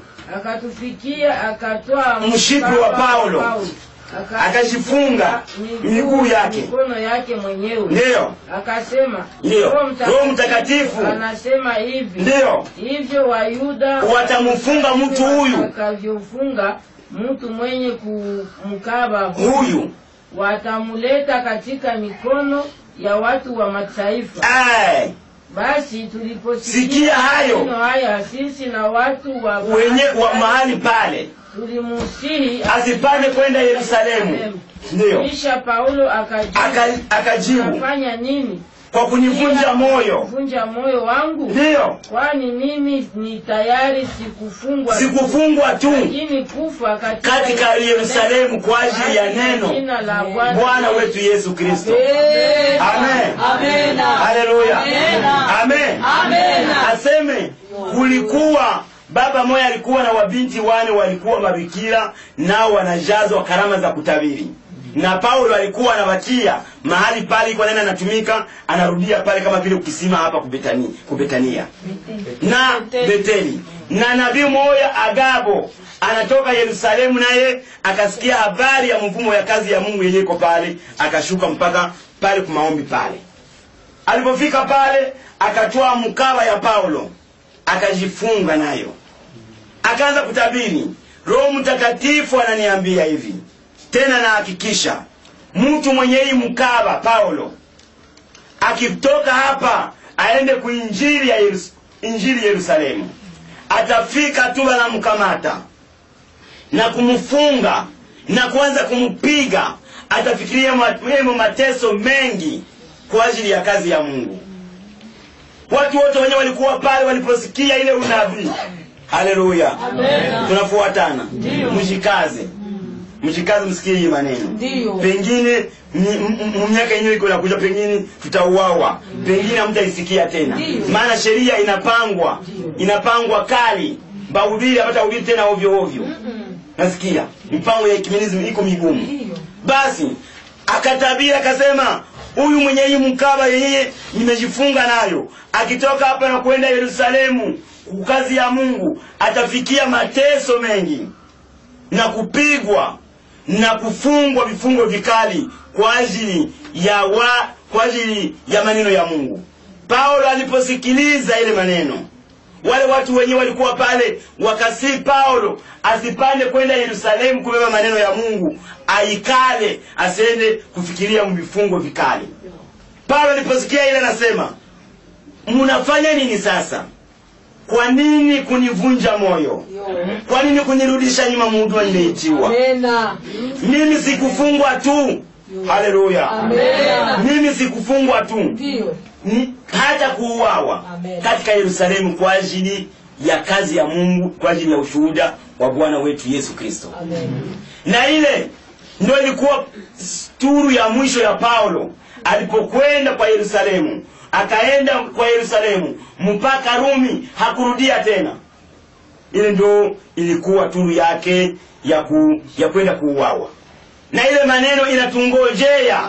Ile maneno inakungojea. Ina- wewe Mkristo wa kwenda mbinguni. Ni Mkristo wa kwenda mbinguni, lazima tutachinjwa, tutapigwa, tutafungwa. Msiku tu za usoni, ni siku za giza. Zinakaribia. Haleluya, amen. Basi nikaingizwa katika kufundishwa dalili, nikaingizwa katika kufundishwa dalili. Nimefundishwa dalili karibu kumi na naweza kumi na mbili wala kumi na moja. Dalili ya kwanza nimefundishwa ni Matayo makumi mbili na nne mstari wake wa tano inasema manabii wa uongo watatokea duniani na watafanya ishara kubwa. Haleluya. Dalili ya pili, na hiyo dalili imeshatimilika. Hiyo dalili ya manabii wa uongo imeshatimilika. Leo tuko na manabii wa uongo. Kama Mungu akuoneshe, hawezi elewa, kwa sababu kila kanisa liko na bibilia na watu wanaona kama wote ni watumishi wa Mungu, kumbe ni manabii wa uongo kule. Dalili ya pili ni Mathayo makumi mbili na nne mstari wa kumi na nne. Mathayo makumi mbili na nne mstari wa kumi na nne tunasoma pale. Inasema hivi. Mm. tena habari njema ya ufalme itahubiriwa katika ulimwengu wote kuwa ushuhuda kwa mataifa yote, hapo ndipo ule mwisho utakapokuja. Amen. Habari njema ya ufalme inahubiriwa katika kontina tano, kuwa ushuhuda na kwa mataifa yote, hapo ndipo ule mwisho utakapokuja. na leo habari njema ya ufalme iko nahubiriwa mu milango mitano leo ndio yenye mungu iko nasemeamo njia tano mungu iko nasemea habari njema inahubiriwa kwa gazeti. Njia moja hiyo. Habari njema inahubiriwa kwa televizio njia mbili. Habari njema inahubiriwa kwa radio. Habari njema inahubiriwa kwa vitabu vya vajideo duniani kugawa vitabu milioni kumi na tano karibu kwa dakika kumi na tano wanagabula mi- vitabu karibu milioni mi- mia mbili mdunia mu- mwinchi mia moja makumi munane na tano bako banagabula na kwa maroke dunia yote banagabula vitabu kwa dakika kidogo wanatawanya vitabu duniani vile vitabu banaviga- ba- banaviga- banavigabula mu hospitali banagabula vile vitabu ku masomo banagabula vile vitabu mu- mu- mu- mu- mu- mu- mu mahoteli banagabula vile vitabu ku mahanvyo banagabula vile vitabu kumameli ya kupita bah baharini. Banagabula vile vitabu nafasi mbalimbali mpaka habari njema ya ufalme ieneye dunia. Hiyo ni njia ya ine na njia ya tano wahubiri makanisani na kwenye mabarabara. Ndio milango tano yenye mungu anasemeyemo mpaka watu yote basikie. Siku ya hukumu asiende kusema eh, mie, mie, mie sikusikiaka maana mungu atahukumu kwa haki. Alisema ni mimi sitahukumu lakini yale maneno mliyoyasikia ndio yenye itahukumu. Mungu anataka kueneza dunia yote kila mtu asikie. Mwenye akusikia ku radio anasikia ku gazeti. Mwenye akusikia ku gazeti anasikia ku televizio mwenye akusikia kwa televizio banampatia kitabu anasoma. Ujumbe unafika kwake mwenye haingie kanisani anapita kwa barabara anakutana na uhubiri kwa barabara. Ndio yenye mungu iko anasemea habari njema ya ufalme hiyo iko dalili ya pili nayo imesha timilika. Amena. haleluya. Amena. ingia nawe kati zizi la bwana. Ingia nawe uhesabiwe. Ingia nawe kati zizi la bwana. Uhesabiwe uwe kondo wake ingia nawe kati zizi la bwana. Ingia nawe uhesabiwe ingia nawe kati zizi la bwana. Uhesabiwe uwe Mungu wake. Haleluya amen. Dalili ya tatu matayo makumi mbili na ine mstari wa makumi tatu na mbili. Tunasoma pale basi jifunzeni kwa mtini. jifunzeni mfano. Ndiyo Tawi lake nikisha likisha kuchipuka kuchipuka, na kuchanua majani. majani. Tambueni. Wakati wa mavuno unakaribia ndio. Ndiyo nanyi kadhalika. Kadhalika. Muyaonapo hayo yote yote tambueni kwamba yu karibu mlangoni. ndiyo Kizazi hiki kizazi hiki hakitapita kamwe. pita hata nayo yote yatakapotimia. mbingu na nchi zitapita. lakini maneno yangu maneno hayatapita kamwe. Amen. amen. Amen. Jifunzeni kwa mtini ni mafundisho ya yesu dalili aliacha. Anasema kanisa lijifunze kwenye mtini. Nitakapoona mti wenyewe ulikuwa unakatwa unachipuka na kuchanua majani. Mtambue wakati wa mavuno unakaribia. Nani nanyi kadhalika mtakapoona hayo yote? Mtambue kwamba yesu anakuwa mlangoni. Amina, ami na kizazi hakitapita hata hayo yote yatakapotimia. Mbingu na nchi. Kusema nukuta tamoya maneno hayo pite. Emwe mbingu na nchi itoweke isikuwapo isi, isiweko. Mbili nukta moja ipite. Na ile mtini yesu aliacha anafundisha wanafunzi na wakristo ni israeli na israeli. Nyuma ya yesu kufa israeli walimpiga. Israeli akatawanyika katika dunia yote nzima. Hii miaka maelfu israeli alikuwa muutumwa lakini ilipotimia mwaka wa elfu moja mia kenda na makumi nne na munane tarehe kumi na tano ya mwezi wa tano waisraeli wa kwanza wakarudia kutoka katika nchi za mataifa kurudia ili- kwa israeli walikuwa hapa bukavu walikuwa kwa burundi walikuwa kwa dunia yote walikuwa wanatawanyika. Haleluya. Amen. amen. Amen. basi waisraeli tangu kutawa, kurudia tangu ile mwaka wa makumi na mnane baliendelea kurudia kila siku kila mwaka kila mwezi mpaka wanatoka nchi za mataifa banarudia kwao yerusalemu. Na tangu waliporudia walikamata kapitale yao bakaiweka murenjo ya Tel Aviv. Mpendwa jipe moyo undako makesha jitahidi usikie maneno. Basi mwakatia kapitali kwa ya rejo ya Tel Aviv. Hii miaka yote kapitali ya Israeli ilikuwa mrejo ya Tel Aviv, lakini hapa mtarehe ya kuingia mtemila ile ile mwaka balifanya mzinduo ya kuzindua pesa za euro, walifanya mzinduo kuzindua pesa za euro zianze kutumika muerope na mwinchi zingine, ndo mwaka Israeli naye aliirudisha kapitali kutosha kutarabia kuirudisha kwa Yerusalemu. amen. Haleluya. Na leo kapitali ya Israeli imetoka kwa kwa Tel Aviv, leo iko pale pale mu Yerusalemu, ndo inaitwa tena kapitali ya Israeli, iko mu Yerusalemu. Ile ni dalili kubwa ya siku za mwisho. Haleluya. Na Yesu anasema mtakapoona tu Israeli anarudia katika nchi yake, basi mjue ninasimama kumlango. Kama mtu anasimama kumlango, siku siku karibu tata ingia Ndio. anasimama kumlango. Tena anasema hivi, kizazi hiki hakitapita kamwe. Mbingu na nchi zitapita, lakini haya maneno ya hii kizazi haitapita kamwe. Tafsiri ya ile kizazi ni kizazi gani? Israeli iko na vizazi vya mingi. Sasa wale wale Waisraeli wenyewe wamezaliwa katika nchi za kigeni, watoto wenyewe walikuwa wanazaliwa na babwana na babibi, wale wote wenyewe walikuja wanazaliwa mu nchi za kigeni, ndio kizazi Yesu alisema. Haleluya. Amen. Tunafuatana? Ndio. ile ndio kizazi Yesu alisema kusema wale wote wenye wametoka nchi za mataifa wanarudia kwa Yerusalemu, yaani ha- hawatakufa wote mpaka wa mwisho wanakufa bila Yesu kuja kukamata bibi harusi. Ndio kizazi Yesu alisema kizazi hiki hakitapita, bale bote hawatamalizika bila siku ya kukamata bibi harusi. mm. Na tangu mwaka wa makumi nne na mnane mpaka leo 2007 banakuwa na miaka bako na miaka makumi tano na zaidi wamesharudia.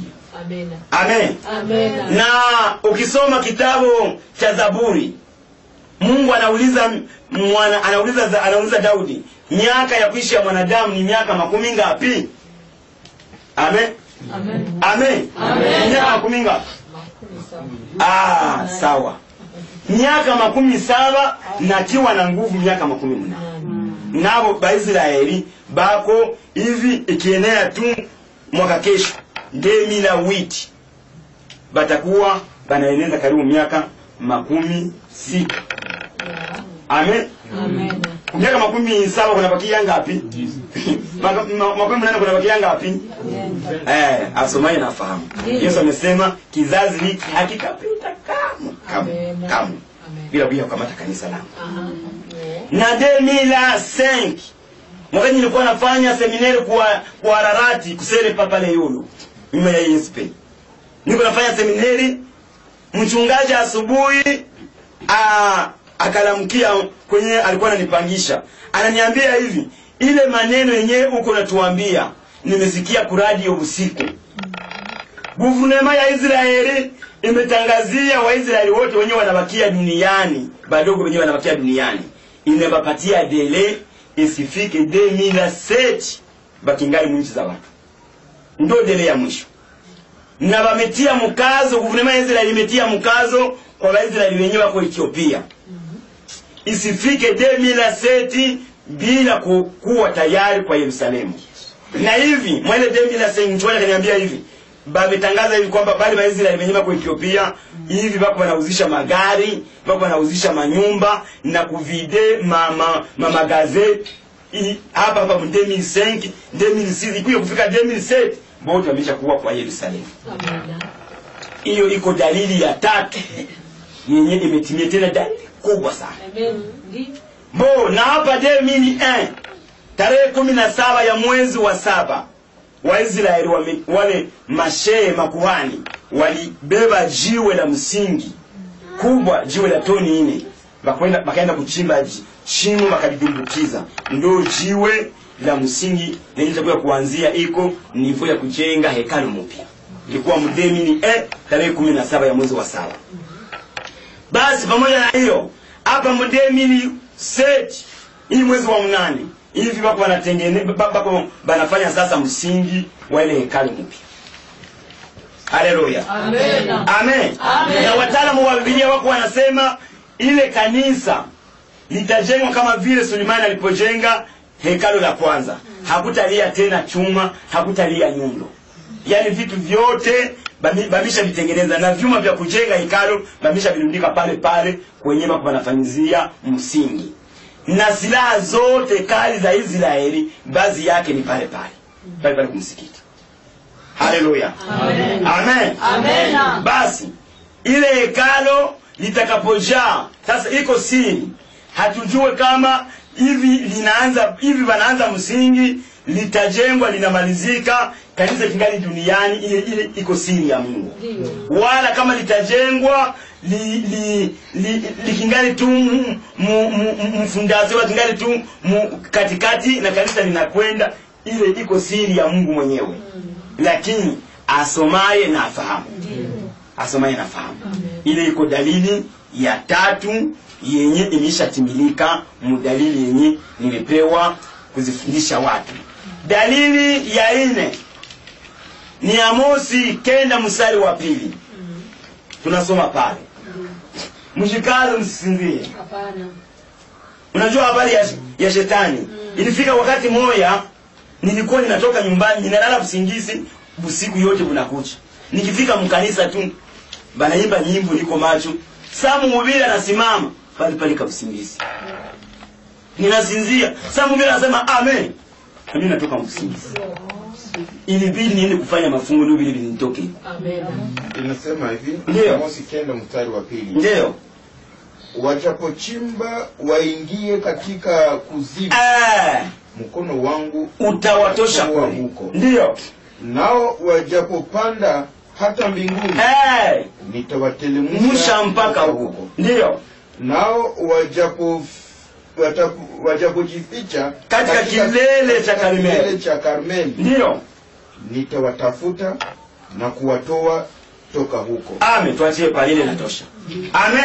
Amen. haleluya. Amen. amen. Amen. hiyo dalili ya ine nayo inatimilika kwa macho yetu na bila kuelewa. Mungu aliambia eh, huyu mtumishi kwa siku za mwisho watu wataji, wataingia katikati ya kuzimu kwenda kujenga manyumba kule. Lakini nitawa, ni, ni, nitaagiza nyoka watoshe kule. Nitawatosha mkono wangu utawatosha kule. Wajapopanda waende wafanye nchi nyingine katikati ya mbingu. Nitawateremsha kutoka kule.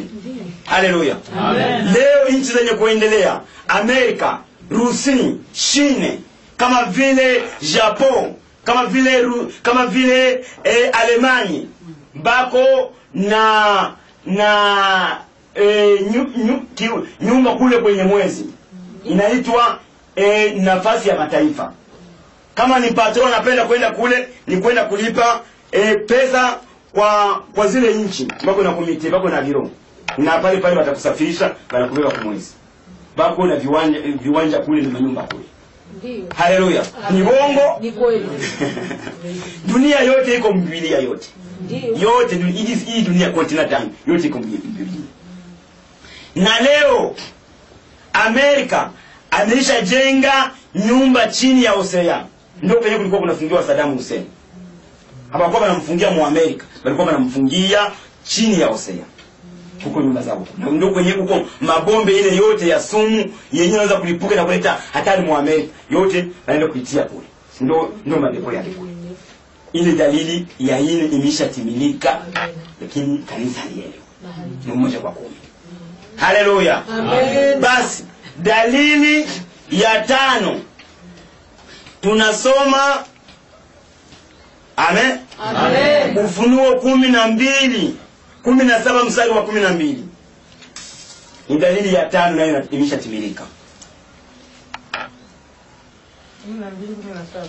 kumi na saba kumi na mbili. Inasema hivi. Mm. na zile pembe kumi Ulizoziona ni wafalme kumi. Ambao hawajapokea ufalme bado.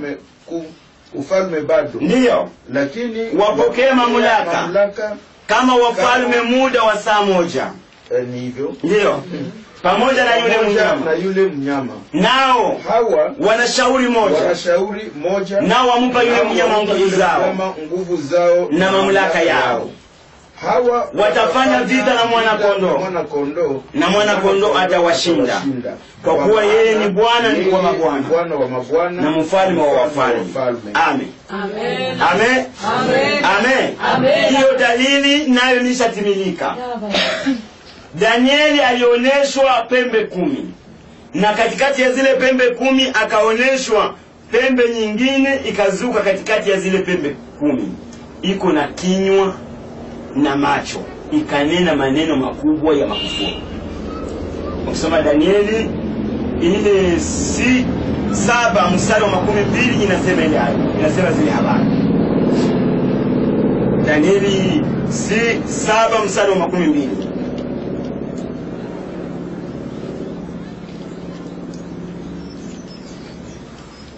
inasema hivi. Ndio na habari za zile pembe kumi Eh. zilizokuwa kichwani mwake. Eh, na ile pembe Nyingine. iliyozuka eh, ambayo mbele yake kulianguka pembe tatu. ndio yaani Ile pembe. ile yenye macho macho na na kanwa. kanwa lililo Nena.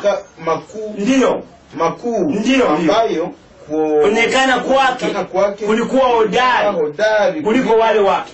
Wenzake. Amen.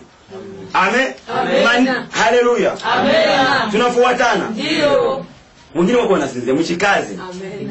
danieli maneno yenyewe danieli alifunuliwa na ndio maneno maneno Danieli- yohana alikuwa kufunuliwa mungu amwambia danieli hii maneno nakufunulia ni maneno yatatimilika kwa wakati wa mwisho ikingali mbali sana sasa uyafungu yatie mumuri akayafunga. Sasa yohana alipokuwa kwenye kisanga cha patimo akaonyeshwa zile zile pembe kumi zenye zilioneshwa danieli. Mungu anamwambia zile pembe kumi naona ni wapresida kumi wenye watapokea mamlaka madaraka kama wapresida muda wa saa moja kwa wakati wa mwisho pamoja na yule mnyama. Nao watakuwa na shauri moja pamoja na antikristo. Nao watakamata mamlaka yao puissance yao na kupatia antikristo atawale dunia. Haleluya. Amen. amen. Amen. sasa na zile pembe kumi. Leo hii zile pembe kumi danieli alizifunuliwa. Akaona pembe nyingine inazuka katikati ya zile pembe kumi. Ile pembe iko na macho na kinywa.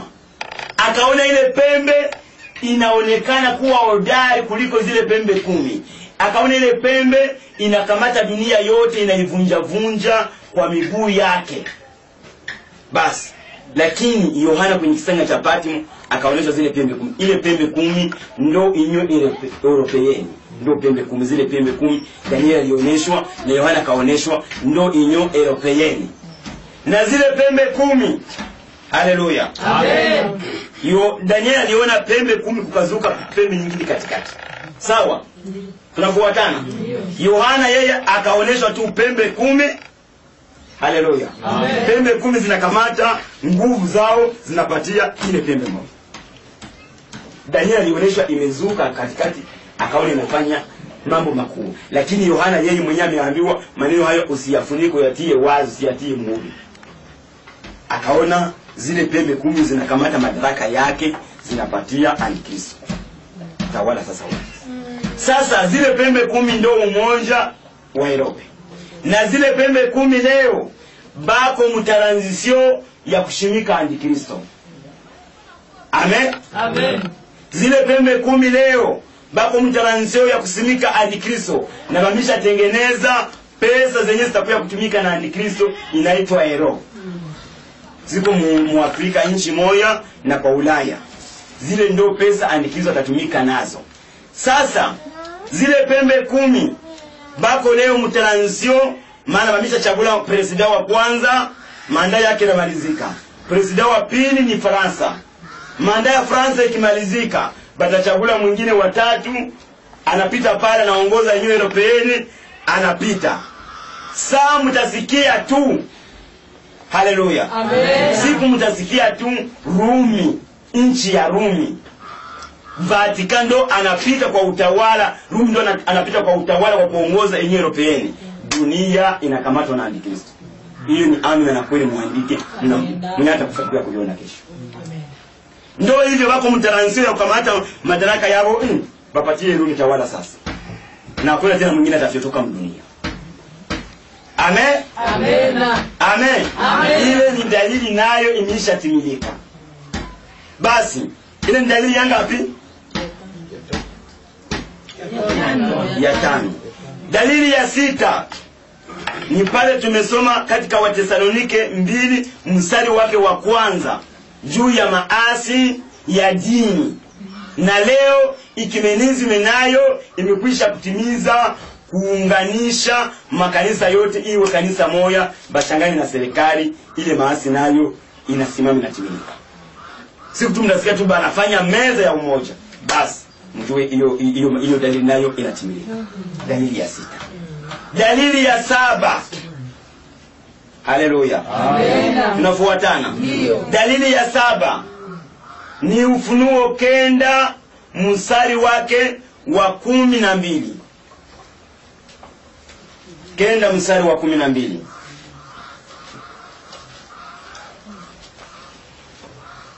inasema hivi mm. Ukienda mstari wa kumi na mbili. Ndiyo, ole wa kwanza Amekwisha kupita. pita.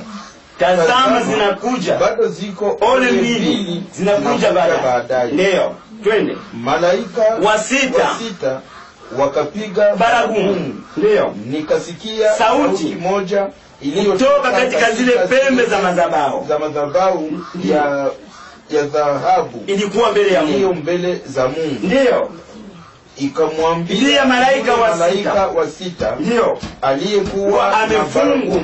ndio wa- Wafungue.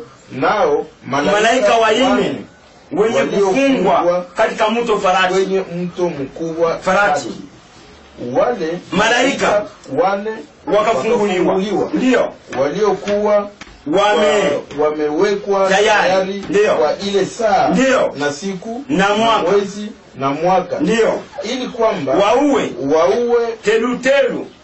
waue thelu- theluthi ya wanadamu. ya wanadamu. Za Chuma. na za samau. Ndio. Na za kiberiti ndio. Na vichwa Vyao vikuu vilikuwa. ni kama Vichwa vya simba. na katika vinywa vyao kutoka moto moto na na moshi na kiberiti. Ndiyo, theluthi ya wanadamu wanadamu wakauawa wakauawa kwa mapigo kwa matatu. matatu hayo. Ndiyo, kwa moto huo na moshi, huo na kiberiti hicho. yaliyotoka katika, vinywa vyao. Amen, tuachie pale. Haleluya, amen. Hiyo ni dalili ya saba, ya saba. Nayo inatimilika. Hesabu ya wapanda farasi imekwisha kutimilika kwa nchi ya Shine. Shine leo inate, ina, ina, imekwisha eneza hesabu ya wapanda farasi, imesha eneza basoda milioni mia mbili. Mwagale basoda milioni mia mbili hamuko gendarmerie hamuko bapolisi basoda benye balijifunza bapara benye balijifunza kupigana. Shine leo imeeneza milioni mia mbili ya basoda duniani. Mudunia yote nzima shini ndio ya kwanza kwa basoda leo ndio ya kwanza kwa watu na ndio ya kwanza kwa basoda na leo shine iko na vifaro vya kisasa ni namna ya ajabu. Bako na bombe za nyuklia bako na bombe za atonike mamisili ndo siseme ndo utoto. Bale basoda ndo bataungana na antikristo wakati antikristo atatawala dunia kwenda kupiganisha israeli. Na na leo bako tayari.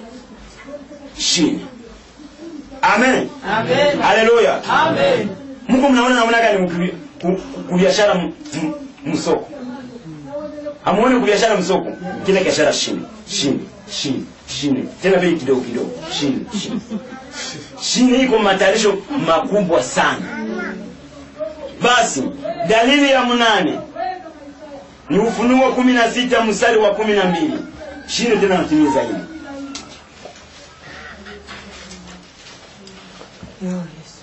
Inasema hivi mm. na huyo wa sita akakimimina kitasa chake juu ya mto ule mkubwa Frati. Ndio. maji yake yakakauka. ili njia itengenezwe kwa wafalme watokao mauyo ya jua. ndio ya jua. Ndiyo nikaona tuachie pale ile inatosha. leo yohana akafunuliwa malaika wa sita tena anamimina kitasa katika mto farati. Maji yake yakakauka njia ikatengenezwa kwaonekana njia inatengenezwa kutoka mawio ya jua. Leo shine iko anatengeneza barabara kutoka shine kwenda kwa yerusalemu. Na ile barabara leo iko kwa siri imeshafikia siri. Nataka kutoka siri ingie tu mu yerusalemu na ile ile barabara ndo anikiza pia kuwa na vukimu na mapresida wa dunia wakati wa vita vya haramagedoni kwenda kupiganisha israeli. Haleluya. Ile ni dalili ya mnane dalili ya kenda. Tunasoma warumi moja mstari wake wa makumi mbili na sita ingia nawe kati zizi la bwana. Ingia nawe uhesabiwe. Ingia nawe kati zizi la bwana. Uhesabiwe uwe kondoo wake. Ingia nawe kati zizi la bwana. Ingia nawe uhesabiwe. Ingia nawe kati zizi la bwana uhesabiwe. Uwepo wake warumi moja makumi mbili na sita. Inasema hivi. Ndiyo hivyo mungu aliwaacha wafuate Tamaa zao. za aibu. Ndiyo hata wanawake wakabadili matumizi ya asili kwa matumizi isiyokuwa ya asili wanaume nao ndio. vivyo hivyo ndio. waliyaacha Matumizi ya asili ya mke. ya asili ndio. Wakiana tamaa. tamaa. Wanaume ndio. waki- Yatenda. yatenda yasiyowapasa. Ndio. Wakapata Nafsini mwao. malipo ya upotevu wao yaliyo haki yao. Amen. Amen. Hiyo dalili ni dalili ya kenda nayo imekwisha kutimilika. Kama mungu alihukumu alichoma watu wa sodoma na gomora ni juu ya kugeuza matumizi ya mke ya asili. Kama mungu haleluya. Kama mungu alihukumu alimaliza dunia ya kwanza kwa maji ni kwa ajili ya kugeuza matumizi ya mke ya asili. Na leo kila siku mko mnasikia kwenye maradio ndoa za, wa, za mwanaume kwa mwanaume kwa ulaya. Ndoa za wanawake kwa wanawake kwa ulaya. Na leo tulikuwa tunasikia kwa kuma, kuma radio lakini leo sasa limeambukia afrika. Oni aliyepoze afrika yote mpaka bapresida basinye kwamba ndoa wanaume kwa wanaume waanze kuoana wanawake kwa wanawake waanze kuoana. Haleluya na kesho kesho kutwa mwai miaka tu ya karibu karibu.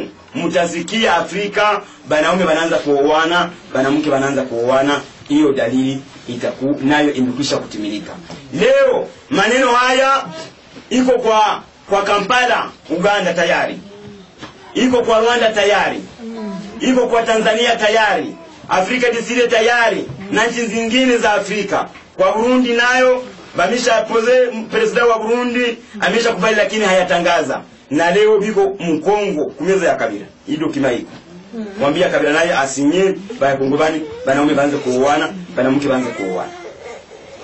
Haleluya. Amen. amen. Amen. amen. Amen. ukisoma walawi tunasoma balawi balawi kumi na mnane mstari wa makumi mbili. Kumi na mnane ya walawi makumi mbili. Hiyo dalili nayo yakenda tayari inatimilika kumi na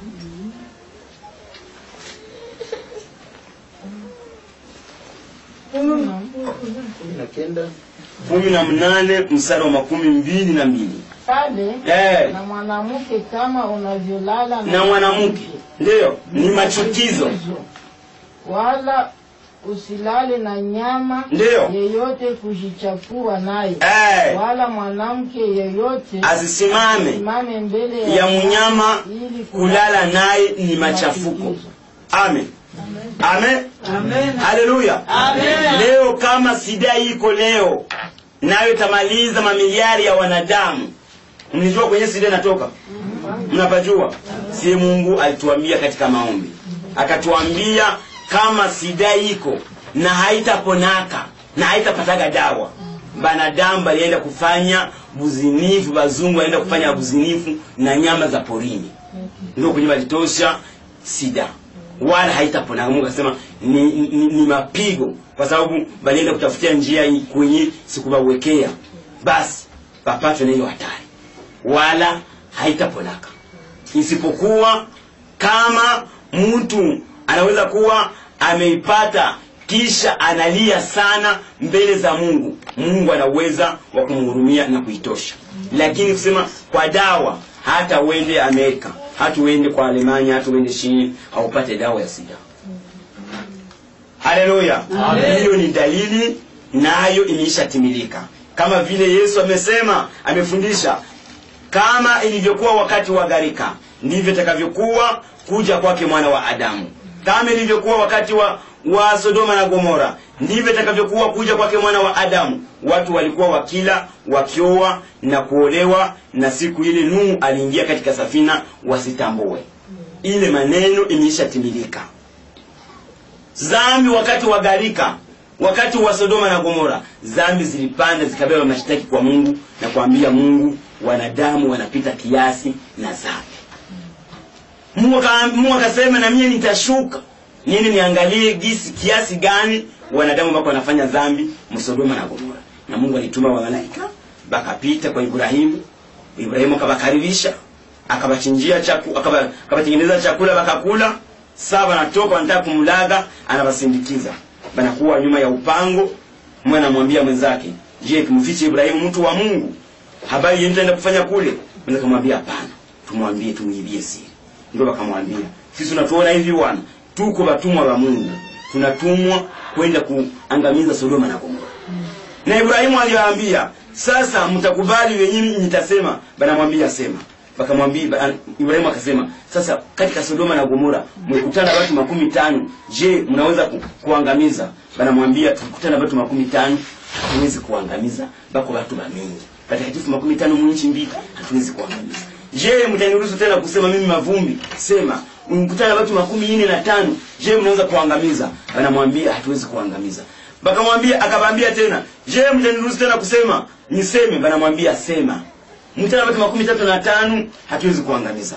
Je mtaniruhusu tena kusema? Sema. Mkutana watu makumi tatu hatuwezi kuangamiza je nini makumi mtaniruhusu tena kusema? Sema. Mkutana watu makumi mbili na tano je naanza kuangamiza. Hatuwezi kuangamiza. Akafikishia mpaka kwa watu kumi. Iko anasema naanza m- watu kumi mnaweza kuangamiza hatuwezi kuangamiza. Basi bakamlaga bakajielekeza kwa sodoma na gomora. Na walipofika katika sodoma na gomora wakasimama katikati ya kiwanja. Kama vile wanaweza kufika mbukavu wanasimamia mtere ya, ya, ya kabumbu kule na nyumba ya, ya, lutu ilikuwa karibu na ile train na ile kiwanja. Lu, lu, lutu alipoangalia watu wanasimama kiwanja akasema eh, watu ya mungu bali watu ya mungu bali.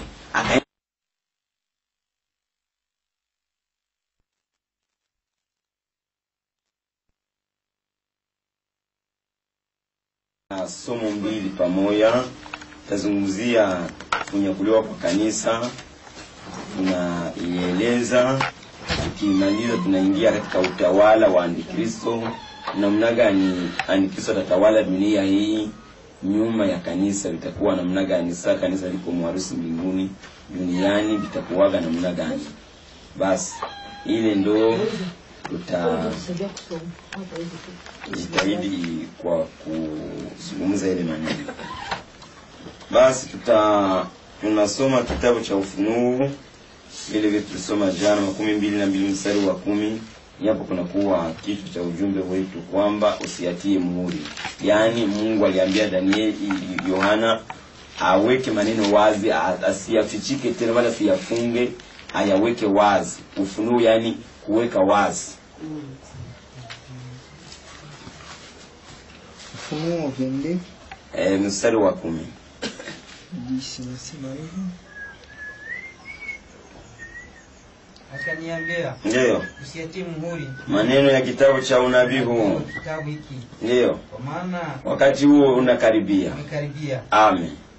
Mungu baba katika jina la yesu tunakuwa hapa katika muda huu wa asubuhi ya leo ya mchana wa leo. Umependezwa katika tarehe hii tukusanyike na watakatifu wako. Uliowaita kwa damu yako kwa ya yako kanunulia baba watu wa kila lugha na watu wa kila taifa watu wa kila e, rangi kawafanya kuwa ufalme wako. Tunaleta maneno haya. Naomba roho mtakatifu aliandika maneno haya. Bwana alete tafsiri kama ilivyo mapenzi yako. Maana ulisema atakaiongeza nukuta moya isa ikuandikwa ataongezewa mapigo katika ufalme wa mbinguni. Na yeye atakayeipunguza nukuta moya naye atapunguziwa sehemu yake katika ufalme wa mbinguni. Naomba tafsiri kutoka roho wako mtakatifu kupitia jina la yesu. Amen. Eh, yohana alipokuwa kwenye kisanga cha patmo aliambiwa haya maneno usiyafunge. Danieli aliambiwa uyafunge lakini yohana aliambiwa usiyafunge uyaweke wazi. Ndio maana ya kitabu cha ufunuo. Na sasa mbele ya kuingilia katika somo letu la kunyakuliwa kwa kanisa tutasoma mwanzo mbili mstari wa kwanza na kutoka kumi na sita mstari wa makumi tatu na kutoka makumi tatu na moja mstari wa kumi na saba.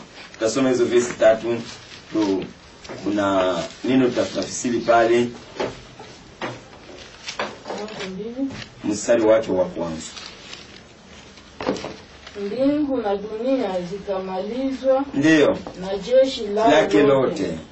siku ya saba mungu akamaliza kazi kazi yake yote aliyoifanya. Akastarehe Siku ya saba. katika kazi yake Eh. yote aliyofanya. Ndiyo. Mungu akabariki siku siku ya saba. akaitakasa kwa sababu ndani yake yake alistarehe katika kazi yake, yake yote mungu aliyeumba ndiyo. na kuifanya. Amen. Ili na, ili natosha. Tunasoma kutoka kumi na sita mstari wa makumi tatu na makumi tatu na moja mstari wa kumi na saba. Kumi na sita makumi tatu ya kutoka na makumi tatu na moja mstari wa kumi na saba.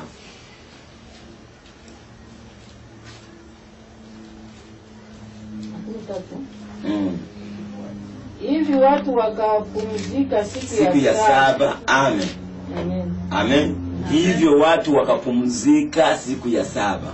Makumi tatu na moja na mstari wake wa kumi na saba. Tatu na moja kumi na saba. Mm. ishara katika ni ishara kati ya mimi na wana wa wana wa israeli ndiyo kwani kwa siku sita bwana aliumba mbingu na nchi starehe kwa siku ya saba. Amen, amen. Amen. Amen. Muko hapa? Ndio. sasa nataka kuleta mwangaza tafsiri ya hiyo maandiko. Katika mwanzo ndo kitabu cha kwanza na- manake ndo mwanzo. Mwanzo manake kumwanzo wa kuumba dunia na kuendelea ile hii pasere yenye alikuwa anaeleza. Mungu aliumba mbingu na nchi. Kwa siku ngapi tulisoma? Siku sita. Siku ya saba akafanya nini? Akapumzika. Hivyo ndivyo vizazi vya mbingu na nchi vilivyoumbwa. Basi kutoka ni kitabu kimeandika e, musa. Wakati adamu ameshaumbwa haiko tena lakini wakati wa musa mungu anamwambia musa aandike kwamba watu hao wakapumzika kwa siku ya saba. Walifanya kazi siku sita. Mungu, mungu akaagiza musa aandike kwamba waisraeli watumike siku sita na siku ya saba wapumzike. Ni, saba, ni sabato ya bwana. Nao wakatumika siku sita kama vile mungu alivyotumika siku sita siku ya saba akapumzika haleluya tufuatane sana. M- m- maanake hiyo maneno muingize mkichwa bo mungu tena akamwambia e, musa kwa makumi tatu na moja aseme ni ishara ya mungu katika mungu na, na kizazi cha israeli. Mungu aliumba mbingu na nchi kwa siku sita na siku ya saba akapumzika akaacha kumaliza aka, akaacha kufanya kazi maana siku ya saba ndio alileta ali- baraka kwa nchi akamaliza kazi yake kwa siku sita siku ya saba akapumzika akabarikia dunia. Amen. Amen. sasa kwanza mwanzo kwanza kwanza adamu mungu anaumba dunia anatii anaumba na adamu. Kupanda mpaka kuja kufikia wakati wa gharika. Imefika miaka elfu mbili dunia ya kwanza ikamalizika kwa maji bale watu munane wenye wamepona wakati wa gharika kasera alisema wao wakati Mungu alimwambia Nuhu anza kutengeneza safina. Naona dunia hii, dunia watu wanajaza dunia na maovu. Sasa anza kutengeneza safina, naanza kuambia watu kama nitabamaliza kwa maji. Nuhu alihubiri miaka mia moja na makumi mbili. Iko naambia watu mumasikio ya watu. Mia, hapana miaka kumi na mbili. Miaka mia moja na makumi mbili. Iko nawaambia mvule tanyesha eh. Mvule tanyesha watu yeah. mvule tanyesha itatoka wapi? Inafanana gani hiyo mvule? wakati ule chakula chote kilikuwa wanalima na chakula chote kinakomala kwa umande tu sasa ile habari ya mvua alikuwa anawaambia wa- unaona kama vile msazi tu. Anawaambia vitu hawa tu. Sasa hiyo mvua inafanana gani basi mungu anamwambia anza uende ukate mi, muti miti ya mvinje uanze kutengeneza mbao ya kujenga safina. Na alianza kukata miti jinsi watu wako wanamuona anaanza kutengeneza anaanza kukata anaanza kupasula mbao watu wanaona anaanza kuunda safina kwenye mlima watu wanaona na watu wanafika namwambia nu sasa hii safina yako hii safina yako itatembelea wapi? Si mbona hakuna bahari? Anawaambia mungu wao ndio aliniambia hivi. Wanasema ye mzee nayo. Inakalakini nyini ya hatari sasa huyu mzee simu una unahangaikia bure? Simu hii kazi yako itaharibika ya bure? Anawaambia hapana mungu wao ndio aliniambia hivi. Wanasema hapo ndio utaangalili basi babu ana- anamsaidia na kupiga misumari na vingine lakini tu anasema ya hii kazi itakufa ya bure. Haleluya. Basi sasa safina ikatengenezwa ikayala mungu kamwambia fanya madirisha urefu vitu vyote akafanya. Akamaliza. Sasa wakati ule hakuna mingurumo ya mvula ilikuwa. Hakuwa mingurumo ya mvula. Kwa sababu hakuna mvula mawingu ilikuwa maanake vitu vyote hakuna sasa wakati ule saa mungu alimwambia sasa anza kuingiza e, nyama sabasaba dike na dume. Maana sitakuja kuumba tena. Ili vyenye ndaponya tu nyingize msafina. Ndio venye vitakuja kuendelea na uzazi ndio vyenye vitakuja kuhifadhi inji anaanza kuingiza e, nyama sabasaba dume na dike e, nyama kali kama vile ma, maimbwa kama vile masimba ndio dume na dike na ndio maana ziko ndogo kuzingine kama vile tai mbili mbili dume na dike. Lakini zingine za mzuri sawa sawa dume na dike. Akaanza kuingiza akaanza kwa macho ya watu watu wanakonula macho. Anaanza kuingiza anaanza kuingiza. Sasa mungu anamwambia ingiza na chakula. Yeye manyama anaanza kuingiza. Anaanza kuingiza vitu vyote. Na mapanya. Siku moja walionyesha kufilme na mapanya na mijusi yote aliingiza. Basi anaingiza anaingiza anaingiza. Kisha kumaliza kuingiza anamaliza. Mungu anamwambia ingia na wewe na jamaa lako. Naona wewe ni mwenye haki siwezi kuangamiza pamoja na wenye dhambi. Ndiyo wakaingia bakariso watu watatu balikazi watatu na yeye ina bibi yake. Sasa mungu mungu iko wa ajabu. Mungu akasema akaacha safina mlango unafunguliwa wazi kama vile tunafungua kanisa siku ya mungu. Yeah. pengine tu mubale watu wenyewe walisaidia Nuhu kusafina, pengine kunaweza kuwa mwenyewe anaweza kushuta kusema ni hata mlevi wa kanyanga naye aingie tu hawatamrudisha, mrudishi, lakini watu wanafika. Na tunaenda Nuhu, toka mule, hakuna mvua itanyesha, wanarudia kwenda kwenye kufa- kufanya dhambi, mpaka wanafika mlango ya safina, wanaangalia "Ah, sema ya toka mule. Basi mungu alifanya ile siku saba siku saba nuhu iko mule haleluya. Siku saba siku saba safina iko wazi na watu wako wanakondola macho na nuu na chakula na nyama na mambuzi na mangombe na makondolo yote vyote vilishakuwa ndani. Lakini watu hawajali tu. Siku saba mungu anawavumilia tena. Pengine kunaweza kuwa tu mwenye ataogopa ajuti na ingie mule wapi? Hakuna. Hakuna hata hakuna hata dunia yote basi kisha mungu akamwambia nuhu mi mi ndo nda- ndafunga safina. Maana nikuambia wewe ufunge. Saba watu wataanza kulalamika na, na, na, na, na kukufa uta, utaona huruma. Mi naikalaga waja mi nikasirika nakasirika. Si, naba niumbaga sijalaki. Basi mungu mwenyewe akafunga safina. Kisha kufunga safina bakaona kule kule mashariki kule kunatokea wingu wingu jeusi kadogo kanatokea kule kanaende kanapanuka kanapanuka kanapanuka kanapanuka kanafunika duni- anga yote.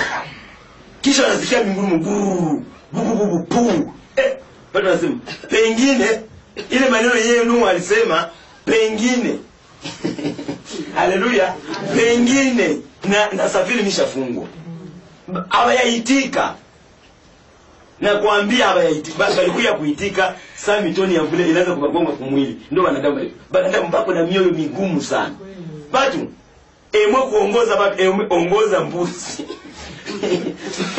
Batu bako bashindikana na kuambia ni ajabu.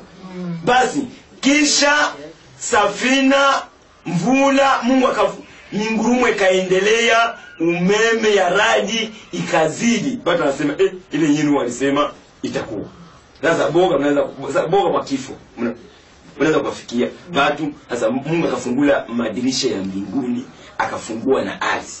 Sasa ile ile safina haikuwa na moteli haikukua na na na, wale ba- ba- bakusoza hawakuwa. Gisi mai iko inaende na panda na ndio gisi safina nayo iko inaende na panda gisi maji iko naende na panda na safina nayo iko unaona ujuzi wa mungu. Gizi safina iko naende na panda maji inapanda na safina iko inaenda inapanda. Wala haiumbe vile vile mungu alisimamisha kuma juu ya maji. Sasa watu wanaanza kukimbilia kumilima mirefu wengine wanaanza kukimbilia kumiti mirefu wengine kumanyumba marefu na maji mungu anasema kila mwenye mwili mwenyeko ndani ya dunia mpaka nitamfikisha kumwisho wake na kila nyama yenyewe ilibakia na kila ndege yenyewe ilibakia mpaka boti yote basi safina maji iko na napanda siku makumi nne madirisha maji iko na- inamwaika kama maana kushindia marubini. Na nyingine iko iko nazuka huko chini inapanda inapanda mm. inamaliza milima yote inafunika miti yote yulu kule yulu mbali. Ah batu yote na wenye walipanda kuma manyumba marefu ya mahitaji na wenye walipanda kumilima mirefu na wenye walipanda kumiti bati yote bakaangamia haleluya. Kisha kuangamia sasa mungu akaleta tena upepo. Upepo kaanza kuvuma kaanza kuvuma ndo kukausha ile mai. Mai kunene napunguka upepo navuma mwingi sana ndo biblia inasema. Na ndio gisi gisi mai iko nini inashuka tena na safina nene inashuka nini inashuka nini inashuka. Maji kadema kwa ardhi safina hiyo kadema kumlima wa Ararati mule mwasia mpaka ile safina ilishinda wazungu kuitosha mwele mwile ardhi ikazama pale. Hasa sawa alifika pale nuhu akatuma akatuma kunguru. Maana aliingiza kila kila ndege kila kitu. Akatuma kunguru kunguru akatoka. Kunguru akaenda sali alikutana mizoga kule. Mm, akazama kule kule hakurudi. amen? Kunguru alikuwaga mweupe. Kale kasinyane kapa kamweupe ndio kisi ndio kisimanyo yake ilikuwa. Sasa juu ya roho kule akageuka mweusi ndio bakaacha sasa kaalamu ndio ya kumuonyesha kama alikuwa mweupe pepe kama vile njiwa. Basi akazama kule. Nuhu nyuma akatuma njiwa njiwa ikazunguka hatuna saa ya kuvisoma maana viko vingi, tuna maneno mengi ya kusema. Basi akazunguka njiwa ikazunguka yakutana dunia yakauka ikabeba liani ya matope. Mpaka mle msafini. Nuhu akaangalia dunia yakauka mpaka bo siku zikapita akatuma tena njiwa ikaenda inazunguka. Inakutana dunia inakauka ikabeba tena liani ya, ya kukauka mpaka mle msafini kuangalia eh, dunia inakauka. Mungu ya kuwafungulia mule ndo kutoka mule ndo kwanza na tena kuzaa kizazi cha pili dunia ya pili. Haleluya. Kwanza garika. Garika mwanzo mpaka garika elfu mbili. Miaka elfu mbili dunia ya kwanza ba- bale watu mnani wakaanza kuzala wakaanza kuzala mpaka wakati yesu anakuya kuzaliwa ilikuwa inabakia ilitimia miaka elfu moja na mia kenda na makumi kenda na sita. Kulikuwa kuna kulikuwa kunakosa miaka ine ieneye miaka elfu mbili. Haleluya. Tunafuatana. Yesu akazaliwa ndo ile miaka batala mabiblia wanasemaga sema wakati yesu alizaliwa kulipo, kulipoteaga miaka ine wengine wanasema miaka sita. Yaani kulikuwa kuna kosa miaka ine ieneye demila yesu akazaliwa. Eh, sasa nifundisha batala mabiblia wanasema iko kweli. Kulikuwa kunakosa miaka ine ndio hivyo wanasemaga maana yake kulipoteaga miaka ine. Haikupotea yesu alizaliwa kulikuwa kuna kosa miaka ine yenee demila. Sasa yesu akazaliwa. Ilikuwa kufika demila yesu ameshazaliwa anakuwa na miaka ine ameshazaliwa. Basi ika- ikaenea miaka elfu ine msiku ine za mungu. Haleluya. Tufuatane. Kisha kwanza yesu anazaliwa mpaka hapa mdemila ingini miaka elfu mbili msiku mbili za mungu. Inaenea miaka elfu sita msiku sita za umbaji wa mungu haleluya na ile siku ya saba yenye mungu amestarehe ndio miaka elfu moja ya utawala wa yesu. Na nyuma ya hii miaka elfu moja maanake maneno yote ya unabii ndio maana dunia mambo yote yanaivya. Hii si hii miaka elfu moja ni miaka ya yesu kristo ndio ya utawala wa yesu atatawala na sisi. Amen, amen, yaani hivi hivi tuko pale kuisansi pale kumazioro vangu tuko tuko tuko kurompwe. Tunasema kanisa linasimama kurompwe. Miaka elfu sita zinamalizika huko. Miaka elfu moja ndio kule mbele ya yesu. Tunasimama katikati.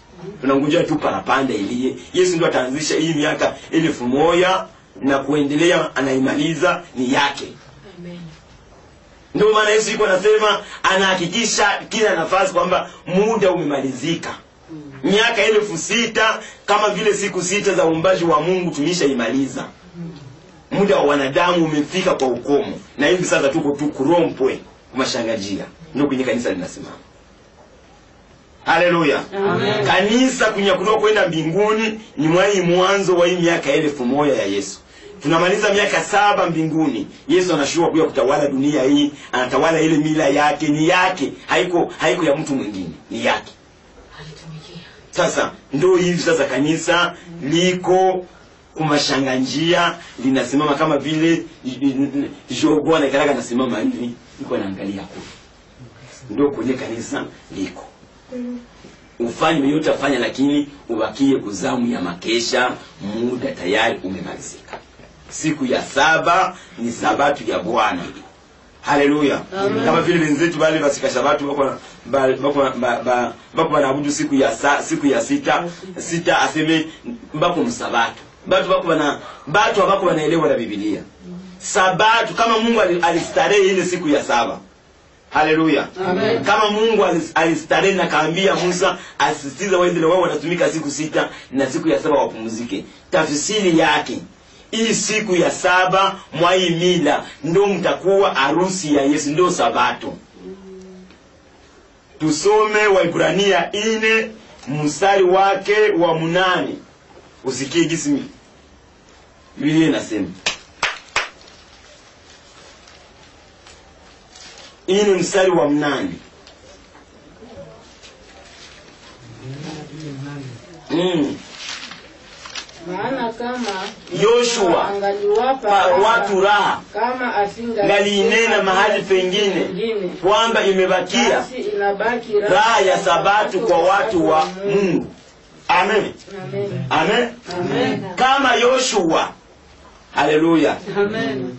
wakati niko nafundisha napenda ni kama huko naweza huyu mtu mawazo yake iko iko kunyumba lakini kama kama huko hapa unafanya kunitazama. Nasema huyu mtu iko nafuata amen? Kama yoshua angepatia watu raha Mm. hangaliinena mahali pengine kwamba kumesalia raha ya sabatu kwa watu wa mungu. Yoshua na musa wakati musa amemaliza kazi mjangwa akatayarisha yeshua na kila siku ki, yeshua bali- balitumika miaka sita na mwaka wa saba mungu akabakusanya akaba bafanye siku kuu ya sabatu na mwandikaji wa Waebrania anasema kama yoshua alipatia waisraeli raha na ile raha ya yoshua alifanyizia ile masikukuu ile mafete kama ndio ingekuwa mwisho wa raha. Tunafuatana. Kama ingekuwa ndio mwisho wa raha ndio mwisho wa sabato.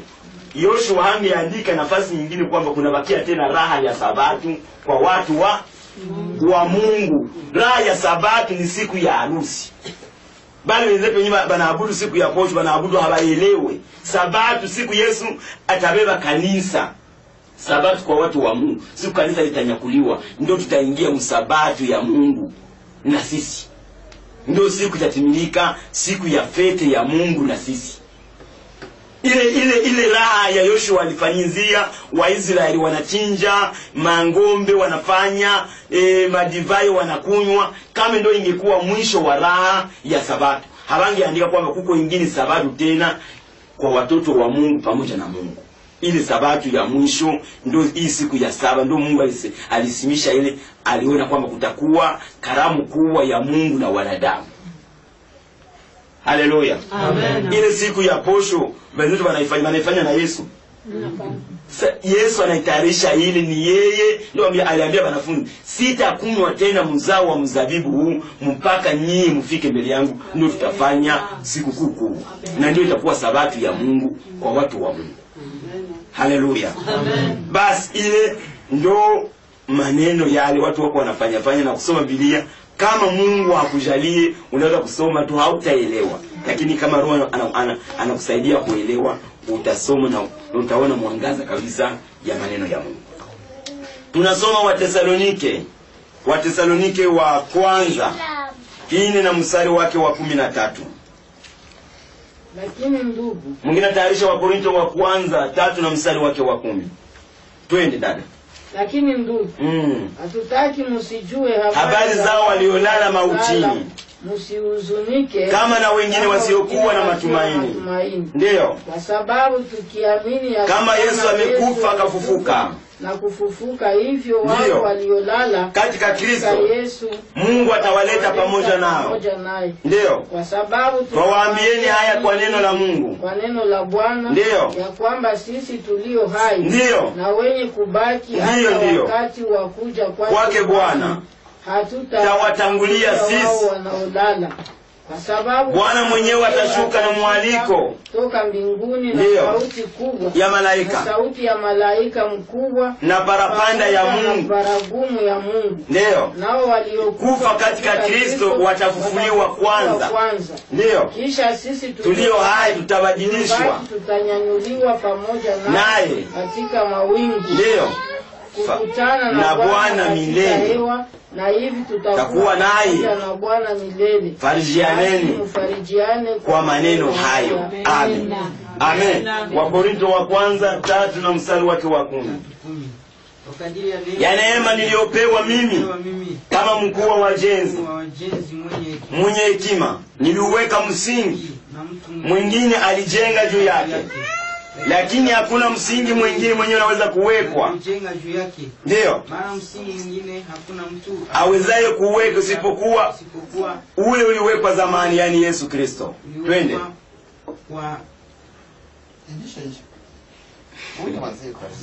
amen. Amen.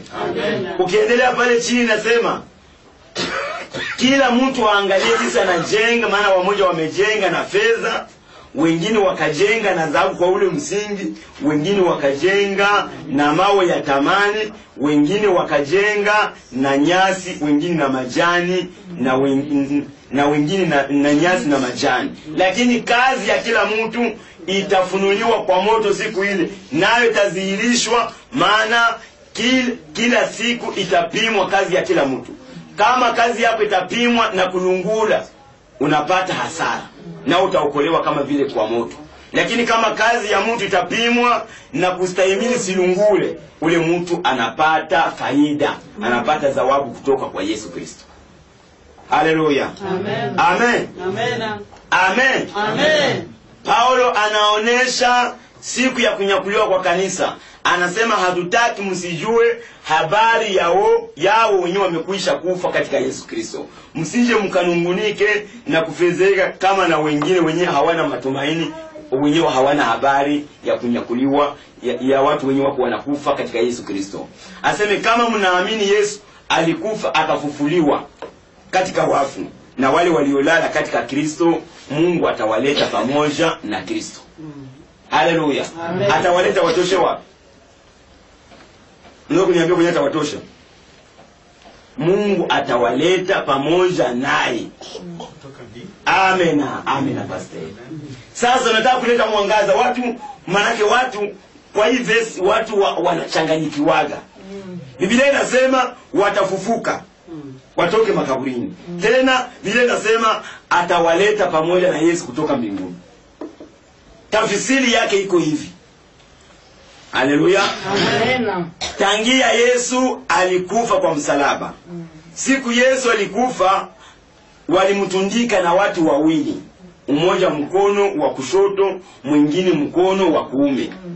Nao walikuwa wabani wavoarume sasa wote yesu katikati mmoja anatundikwa hii ng'ambo mwingine anatundikwa hii ng'ambo. Huyu mmoja alikuwa hii ng'ambo anasema hivi.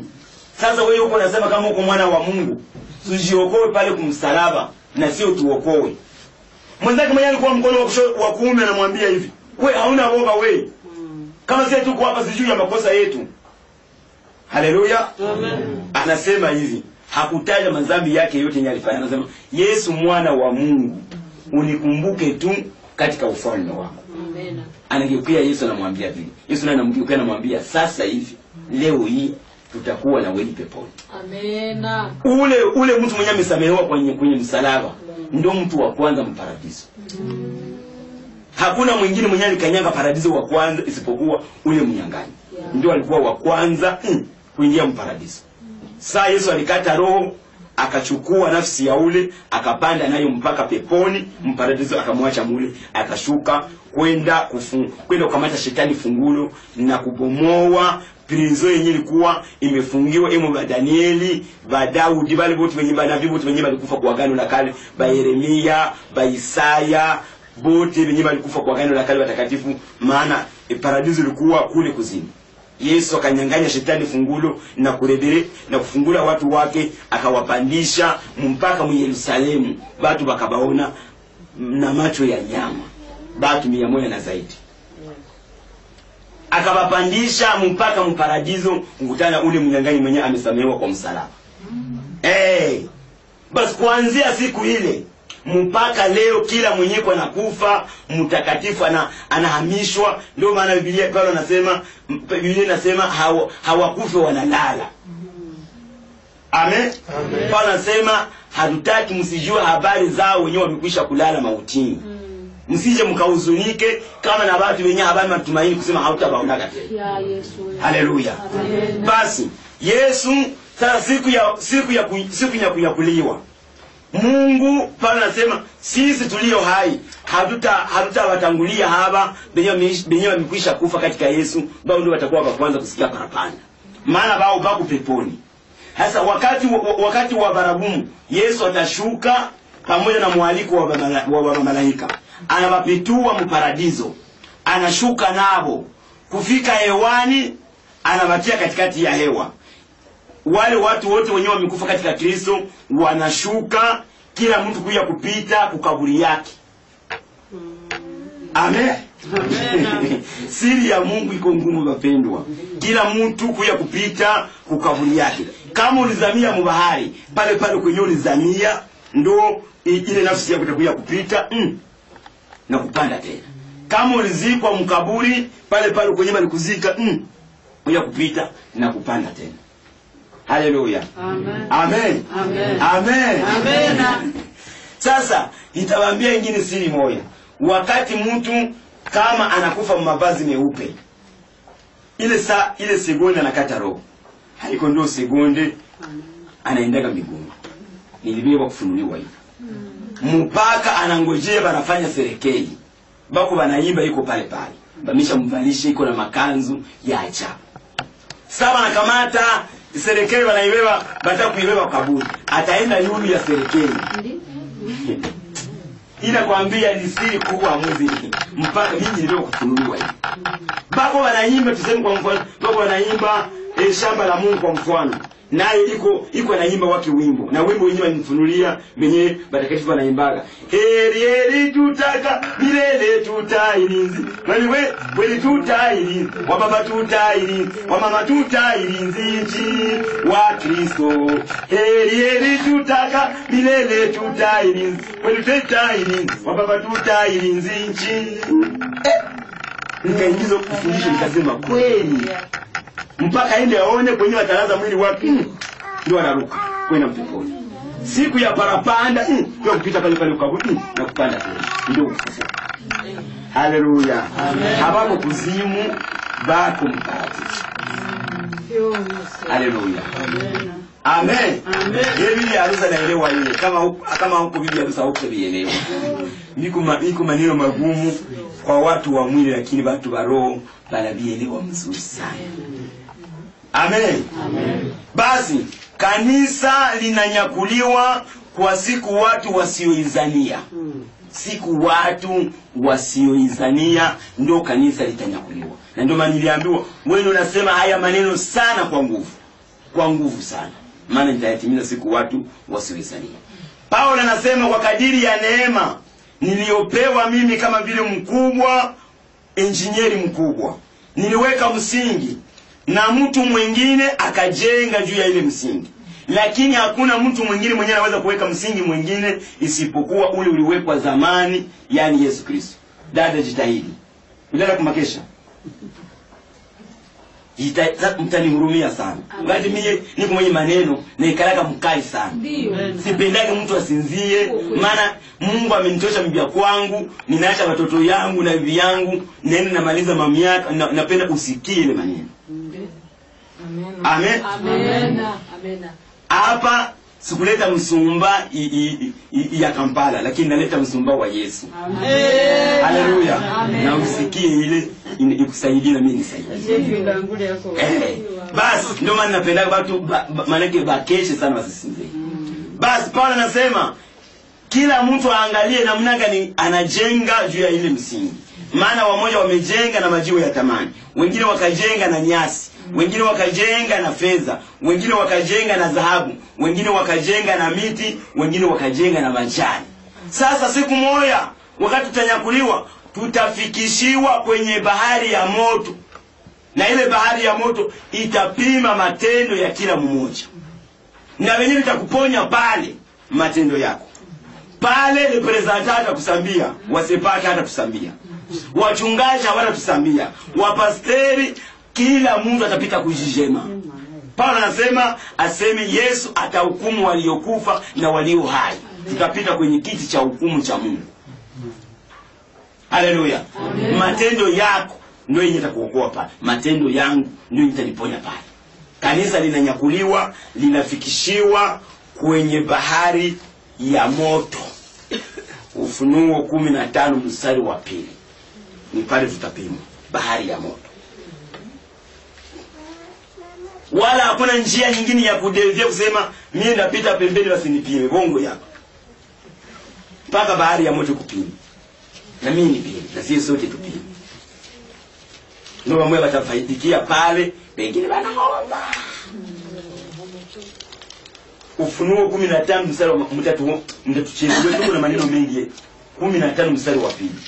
Tena nikaona kitu kama mfano wa bahari ya kioo iliyochangamana na moto na wale Wenye kushinda kutoka kwa shetani. na sanamu yake Eh. na hesabu ya jina yake walikuwa kando kando kama ya bahari ya kio wenye kinubi vya Mungu. Nao wauimba wimbo wa Musa mtumwa wa Mungu. Wa Mungu na wimbo wa mwana kondoo. wakisema ni makuu na ya ajabu matendo yako. matendo yako Bwana Mungu, mwenyezi ni za haki na za kweli. za haki na za kweli. Mfalme wa mataifa. amen. Tuachie pale ile natosha amen. Kanisa linanyakuliwa. Wa, watakatifu wote wenye wamenyakuliwa mkontina tano na wote wenye wamefufuliwa wote tunawekwa pale. Basi na yesu ataanza kuita majina ya watakatifu wote. Hakuna ingine njia kipimo njia ni mbahari. Ya moto fulani preza. Hapa ndo ndakuonea kama umenitumikia namna gani. Si ya kujua visi ulikuwa unatumika kama ulikuwa unashikaza kama mtazi mm, hapa ndo utemwanaji itakuwa mm, unaingia bahari ya moto. Bahari ya moto inaanza kupima matendo yako inaanza kupima matendo yako kama ulijenga na, na dhahabu wala ma, majiwe wala fedha kazi yako haitalungula bahari ya moto inaanza ku- kukusafisha inakusukula inakusukula inakusukula unakuwa kama vile jua. Benye abayapima wanasema "Ah, fulani napenda, maana siku si, saa tutanyakuliwa tutanyakuliwa macho iko hivi zamiri zetu ziko kule. Tunaenda hivi kwenda kugeuka hivi ndio tunageuka mbele ya mfalme yesu tunashuka na pale pale tutaanza kusalimiana eh, yangu na wewe mwenyewe unatoka Asia, yangu na wewe mwenyewe unatoka Belgique, kumbe na wewe ulibahatika kufika. Tutajuana sie wote kutoka mkontina tano. Haleluya, amen, amen. Basi na pale pale fulani preza unaingia bahari ya moto, moto inakutakasa inakutakasa, ulitumikaga mzuri, unakuwa kama vile jua. Benyawa ya biwa wanasema "Yeah!" Fulani anatajirika, hiyo ndio atakuwa wa kwanza mbinguni. Basi Yesu anakuambia sasa, una- unafika kule ng'ambo ng'ambo ya mto kule, Yesu anakuambia kabla misingi ya ulimwengu haijawekwa nalikujua. Ulikuwa m- mwaminifu kwa madogo duniani, yeah. lakini sasa leo mm, nakuweka juu ya utajiri wa mbinguni. Ingia katika raha ya Bwana wako, anakuweka pale. Amen, Haleluya, amen. amen. Anaita mwingine fulani abe, ingia katika bahari ya moto na unaingia katika bahari ya moto. Bahari ya moto inakusukula, inakusukula, kesha dada, kesha bahari ya moto inakusukula, inakusukula, unangara, unakuwa kama vile mwezi. Benyewe yapima nasema ya fulani anapita na anakuwa wa. Ya ya, kumbe dada fulani alikuwa mwaminifu kweli. Ya ya ya, anapita kabisa. Basi kufika kule ng'ambo ya bahari, Yesu anakuambia pole, ulikuwa mwaminifu kwa madogo duniani, ndio inakuweka juu ya utajiri mwingi wa mbinguni. Ingia katika raha ya Bwana wako, mm, unakuwa pale. Anaita mwingine fulani pabe ingia katika bahari ya moto. Bahari ya moto inakupima, inakupima, unakuwa kama vile nyota. Basi Yesu anakukaribisha kule, anakuweka kule. Anaita mwingine fulani abe, kuingia bahari ya moto, bahari ya moto eh, fulani alungula, fulani alungula, matendo yake ya! matendo iko wapi? Iko kumwili, kama vile mimi navala hii nguo, hii nguo ilungule, nitaweza kusikia kivuruto ya, ya moto hautalungula kusema utalungula lote lote, lakini kama kazi ya mtu itapimwa na kuteketea, anapata nini? Hasara, naye atatoka mule mmoto kama vile kuchuku, kama vile kuponea chukuchuku ya kukufa. Amen. Fulani yeye matendo yake yanalungula, matendo yake yanalungula, ya, ya, ya, ya, ya, ya, ya, ya, ya, ya, ya, ya. Kwenda kujitupa kule ng'ambo ya bahari, matendo yote milungula nguo amevala iko vile vile vile vile amezaliwa buchi vile vile amezaliwa. Yesu anamwambia pole na wewe hivi akunungula yote lote unaponea chukuchuku. Pole na wewe. Amen Amen Danieli kumi na mbili mstari wa pili. Kumi na mbili ya Danieli mstari wa pili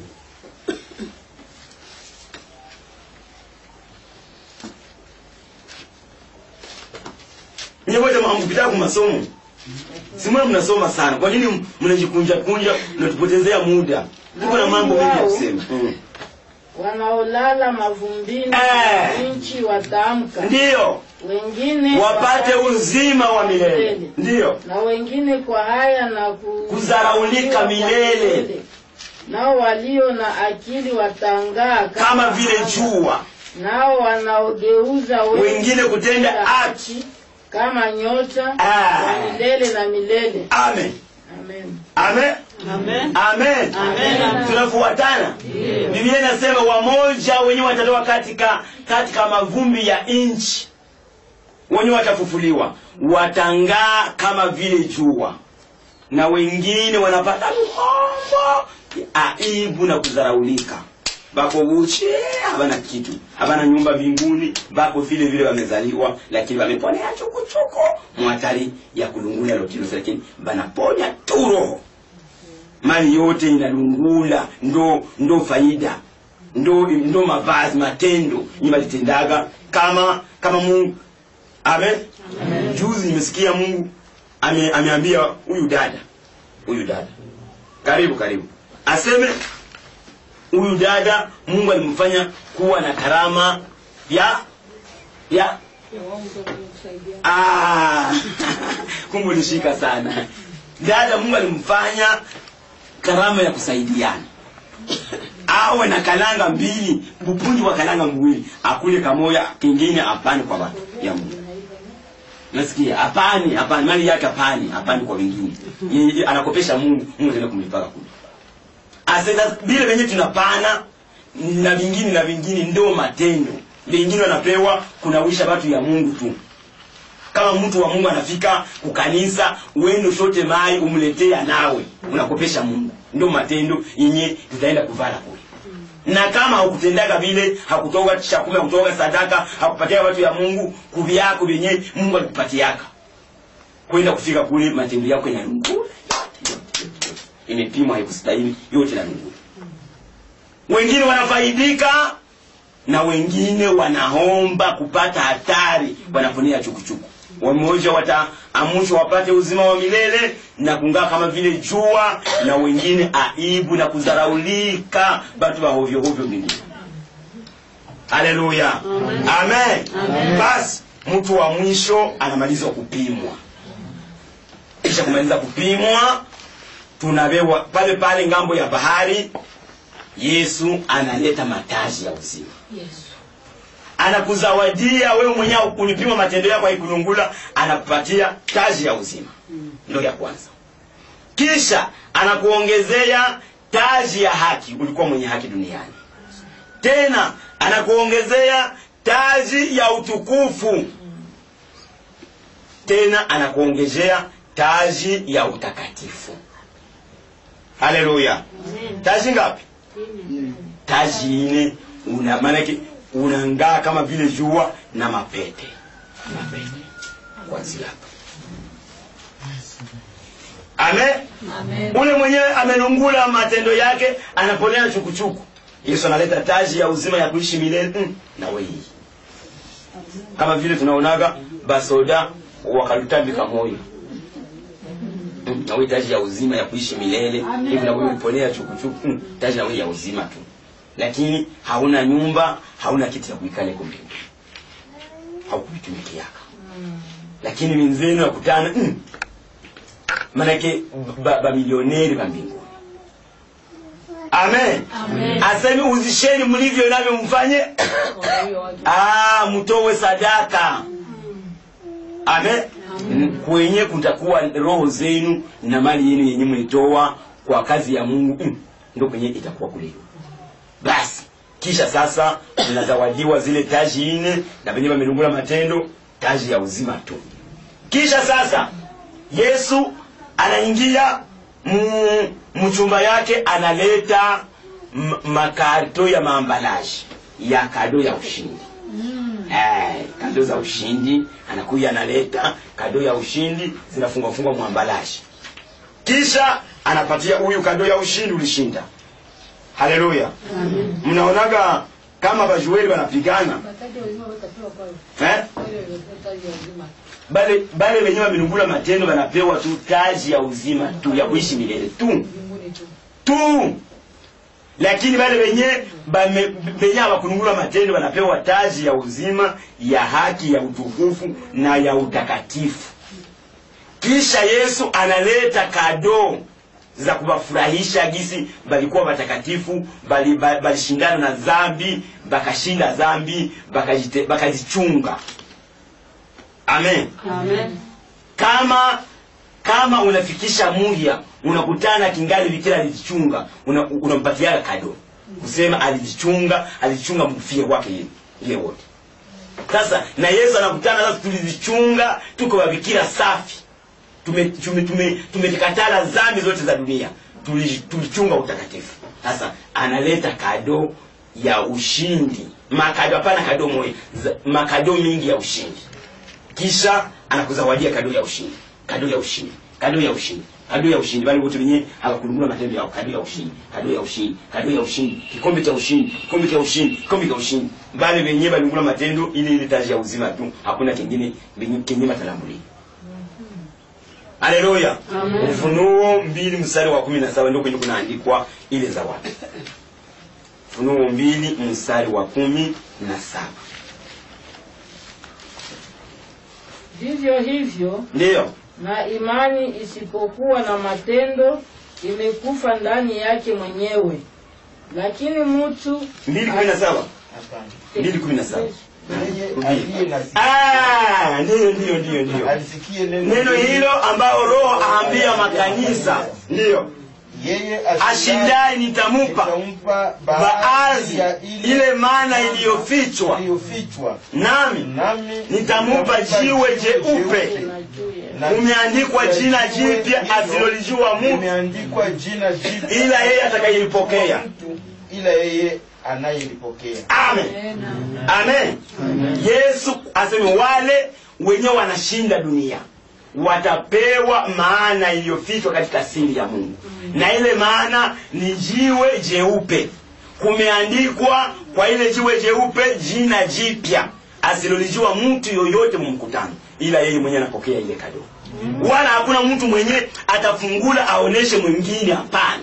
Iko siri yako na mungu. Kama vile mbele kama mbele niliona kwetu mbapo yangu saba alikuwa wanafikisha kama nafikisha muja basi ile si zile siku ule muja akingana nafika M- m- mwanaume anaenda kusoko analeta maini. Amkuifanya ile? Anaif, analeta anauza maini anaifunga maini ya mzuri anapatia mwingine dada wa pale kunyuma sema "U- utavea bi- bibi yangu. Sasa saa ya mangalili muya anachoma ile maini yake ni kuikula yeye mwenyewe haleluya amen. na yesu ataleta makado ya ushindi ya zawadi. Anapatia wale wenye wameshinda dunia. Wale wenye wamelungula matendo yao wenye walikuwa ma, macho mkanisa macho mdunia habatapewa ile. Kado ya ushindi ya kuona kama tulichunga tulikatala dhambi. Tuchunga utakatifu. Basi kila mtu kwenda kufungula niangalie sasa wenyewe ah, unakutana jiwe jeupe kumeandikwa jina jipya asilolijua mtu ila mimi mwenyewe napewa hili na na wewe mwenyewe napewa hili na wewe mwenyewe napewa hili haleluya. Auli ya ajabu ile? Dranga nienda shinda hiyo bado paka nangaika takule vitu wenye viko viko mdunia? Vitu gani? Vitu gani viko kwa dunia hii marangi hapa hapa hapa. Ndio hii vitu vya ovyo ovyo vya mavimavi ndio watu wanaenda kujichafua. Unachafua utakatifu wako. Yesu anakuchumbia kwa damu yake unaenda kujichafua vitu vya ovyo ovyo. Amena. basi kisha sasa kutuzawadia zile zawadi wenzetu wenyewe walichafua wenyewe waliponya chufu wanaangalia ya. basi kisha sasa anatubeba mwarusi. Anatubeba tumwarusi twende sasa tudunge sasa ndoa. Itakuwa ni ajabu Ita, kama mtu atakosa mwa ile harusi ingekuwa heri hata kuzaliwa asizaliwe. Hata kuzaliwa asizaliwe.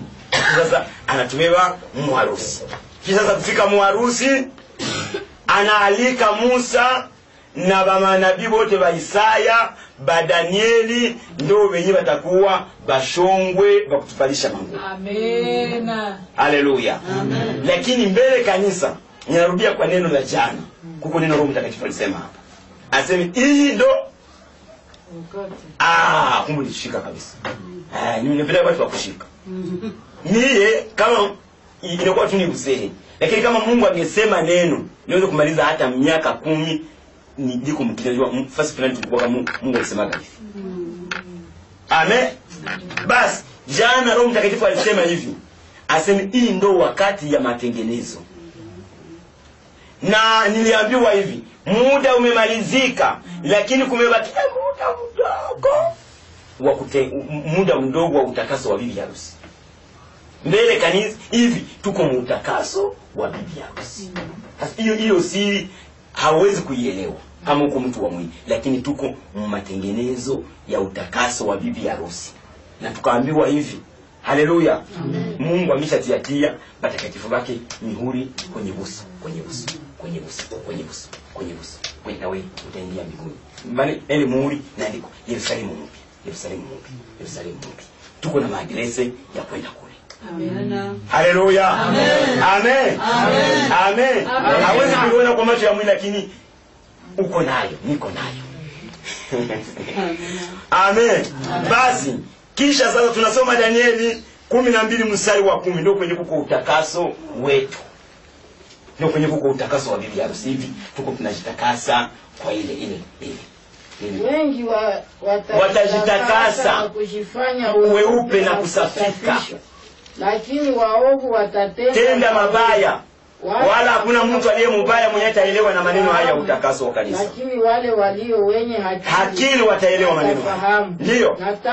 Wakati, ule wa sadaka la kuteketezwa za daima zitakapoondolewa. Na hilo chukizo la uharibifu litakaposimamishwa itapata miaka elfu na mia mbili makumi kenda. ndiyo enenda atakayengojea na kuzifikiria siku zile. Elfu na mia tatu makumi tatu na tano. Ndiyo amen. Amen. Amen. Mungu anamwambia danieli ni wakati wa siku za mwisho kutakuwa utakaso wa bibi harusi. Wengi watajitakasa na kuzishafisha na kuwa weupe weupe. Lakini watenda mabaya wenye zambi. Hawataelewa jinsi bibi harusi iko anaingia ana, mdamu ya yesu mm, anajifururisha mule wengine wataendelea kutenda tu mabaya. Hata mtu mbaya hakuna mwenye ataelewa kunusa utakaso wa bibi harusi. Lakini wale walio na hekima mungu walio na roho mtakatifu ndio wenye wataelewa utakaso wa bibi harusi haleluya. Amen. Uingie katika zizi la bwana uanze kuhesabiwa kama uko kondo wa yesu kristo. Basi kisha mungu alimwambia danieli siku siku hizo za utakaso wa kanisa itakuwa siku elfu na siku elfu na mia mbili makumi kenda na siku elfu na mia tatu makumi tatu na tano. Siku elfu na mia mbili makumi kenda ni miaka tatu na nusu na siku elfu mia tatu makumi tatu na tano ukifanya hesabu nyewe wasomi utakutana ni miaka tatu na miezi sita.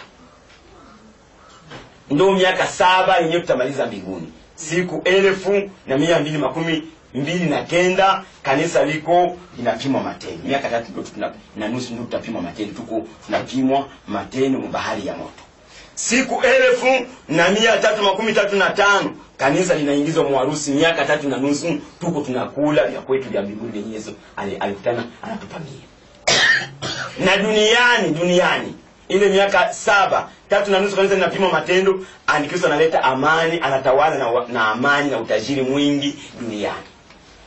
Miaka tatu na nusu tunaingizwa mwarusi antikristo anachacha duniani kwenda kupiganisha waisraeli na kwenda kuweka ile sanamu katika hekalu ya yerusalemu na mungu analeta ziki kubwa ya dunia ulimwengu haleluya Amen. amen Amen. basi tunasoma ile zaburi ya makumi nne na tano mstari wake wa kumi na tatu hapo ndio kunaalikwa habari ya i, habari ya manabii wenyewe watakuwa wakashoshwe washongwe wetu wenyewe watatukunga katika ile harusi. Zaburi makumi nne na tano mstari wa kumi na tatu. Mm, binti. Binti mfalme yumo mundani ana fahari tupu. tupu. Ndiyo mavazi yake ni ya nyuzi za dhahabu ndiyo ndiyo atapelekwa kwako kwa mfalme na mavazi yaliyofumwa kwa uzuri. ndiyo. Wanawali wanawali wenzake wana- wanayomfuata watapelekwa kwako. watapelekwa kwa sh- na shangwe na kuingia katika nyumba ya mfalme. Amen. Amen. Amena. biblia ya, ya kiswahili cha kongo inasema mavikira wenzake lakini kiswahili na zanzibari inasema wanawali wenzake. Ni mmoja tu anamkira na wanawali wenzake ni mmoja. basi wale ndo wenye watatubeba kwa yesu kristo.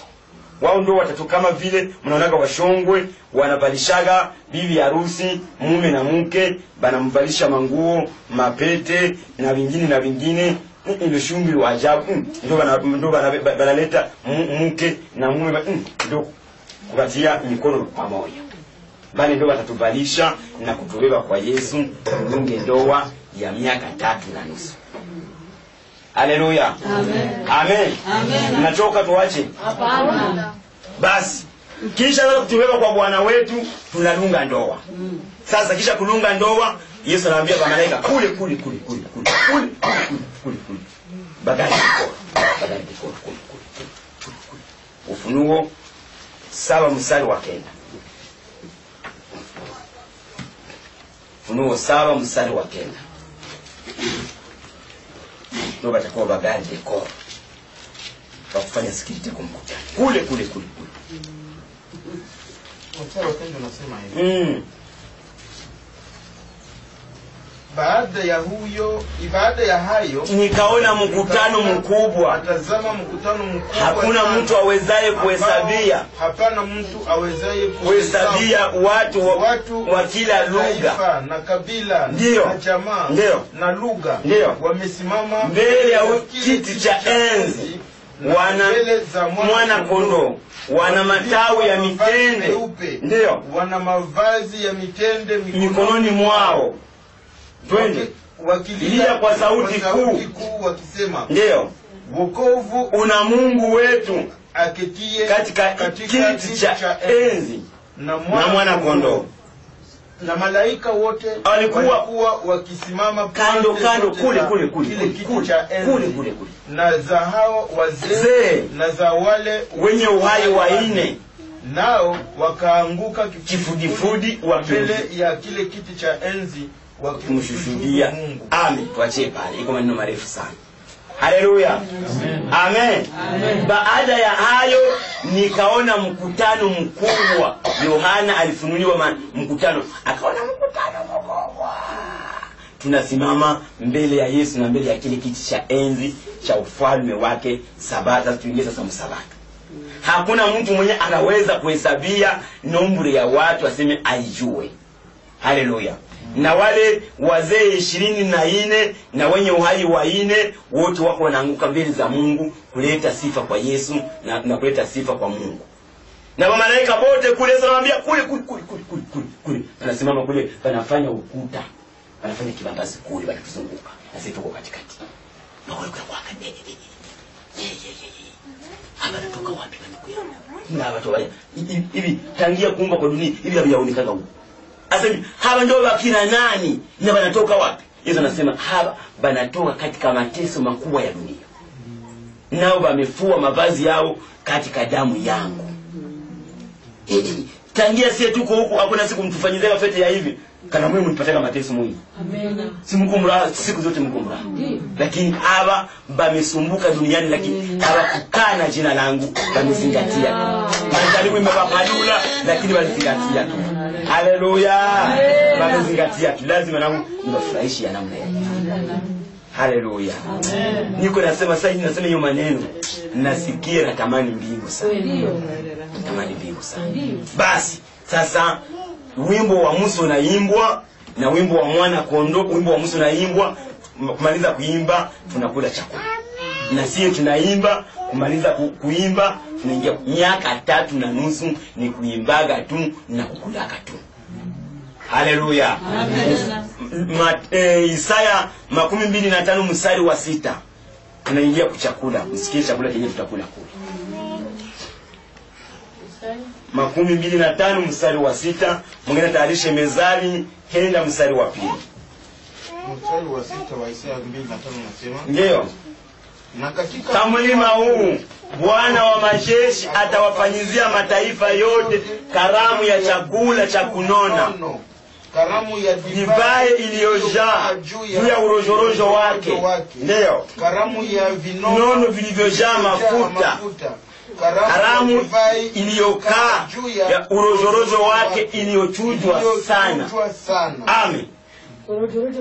ame ame urojorojo tamu tamu mm. Aone ona tunatia mki haleluya. Urojorojo utamutamu. Chakula cha dagu cha urojorojo wake. Aseme katika mlima wa bwana mbinguni. Bwana wa majeshi atafanyizia mataifa yote chakula cha utamutamu. Nayo kimepigwa kimejaa mafuta ukia mbinguni hapana hii ya kwetu. Kimejaa mafuta na divai yenyewe nakaa juu ya utamutamu nayo imechujwa. Haleluya. Imechujwa yani hamuna buchafu, siperi ya divai. Eh, hamutawekwa mai ni siperi ya divai. Primeri kalte asemi chakula cha urojorojo na divai ya urojorojo imechujwa sana. Tuko tunakula na kukunywa divai ya urojorojo tangia yesu amelaga wanafunzi mpaka hivi hayakulaga anatuchunga tu ndio atafungula tukule na sisi. Au ni valeri ya ajabu? Valeri ya ajabu. Kama mkito utajichafua kwa lwako lakini ujikane kabisa wale kufunge mkao pigane na zambi shinde kila saa. Huyo wa kwanza mbinguni niko wa kwanza mbinguni. Mezali kenda msali wake wa pili. Ingia nawe kati zizi la bwana. Ingia nawe. Mezali ya tisa mstari wa pili. ndio. amechinja nyama, nyama zake amechanganya divai yake pia. Ametuandalia meza yake. Pia. Amen. Amen. amen. Isaya alioneshwa ni chakula tu kenye kinajaa utamutamu lakini hakufunuliwa ni chakula gani. Lakini sulemani mtoto wa daudi mfalme anasema mungu yesu atachinja nyama zake na kuchanganya divai anakalanga vya mzuri kisa anatuandalia kumeza tukule chakula cha urojorojo na ile chakula wapendwa hatapatia wazee ishirini na waine waguse kwa kupika kwa ile mapishi. Hatapatia wenye uhai waine waguse kwa ile mapishi. Hatapatia wamalaika waguse kwa ile mapishi. Yeye mwenyewe ndio iko atakalanga kila siku. Amen. Akipatia wamalaika wapige sawa awakupiga mzuri sawa tunaenda kule tunasema alikupigwa mzuri, anapata. Ndio maana mwenyewe tu kuchiko hakuna mwingine wa kumsogea yeye mwenyewe. Amen. Bwana wa majeshi atawafanyizia yesu mwenyewe.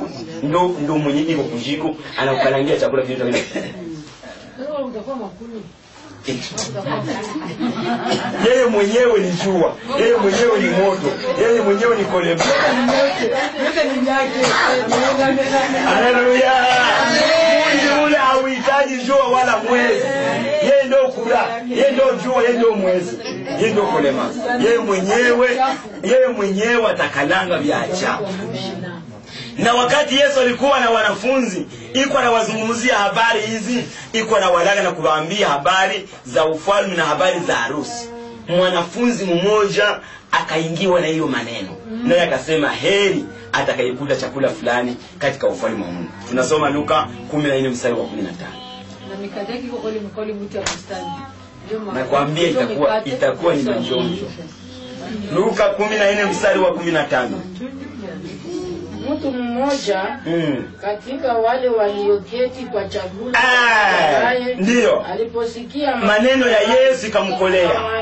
heri yeye atakayekula mkate pamoja na wewe katika ufalme wa baba yako. Haleluya. Amen. amen. Amen. amen. Yusaya amesema ni chakula kenye kinajaa mafuta. Luka kumi na nne mstari wa kumi na tano. Lakini mezaya anasema ni nyama lakini banafunzi wanasema ni mikate yenye inapambwa ina, inapakwa buleva na tutakula mikate katika ufalme wa mungu. Haleluya. Amen. Na ukifika burundi hiyo nakwambia ni amina na kweli. Ukifika burundi ukamate Biblia ya kirundi unasoma hii vesi ya isaya makumi mbili na tano mstari wa sita bataalamu ba Biblia ya kirundi baliandika kutafsiri hiyo maandiko wanasema aseme ile chakula hizo atatupigia mbinguni aseme itakuwa ni sambaza. Haleluya aseme mkaka ndio tutakula mbinguni yaani walisikia mchakula chote duniani wakasikia sambala ndio za utamutamu na wakaandika sema itakuwa ni mkaka haleluya. Lakini nakwambia haitakuwa sambaza haitakuwa nyama haitakuwa mikate ni chakula cha mbinguni kenye yesu anajua kenye atatuandalia cha kutupendeza sana. Haleluya. Amen. Tunasoma ufunuo kumi na kenda mstari wa saba kumi na kenda mstari wa saba. Inasema hivi. Ndiyo mpaka kwa mstari wake wa kenda. Na tufurahi na tushangilie. Tukashangilie. Tukamupe utukufu wake. utukufu wake. Kwa kuwa harusi ya mwana Harusi ya kondoo mwana kondoo imekuja. Naye mkewa amepewa. Tayari. amepewa kuvikwa kitani kitani nzuri. nzuri ingarayo. Ndiyo safi. Kwa maana Ma, kitani nzuri hiyo ni matendo ya haki ya watakatifu.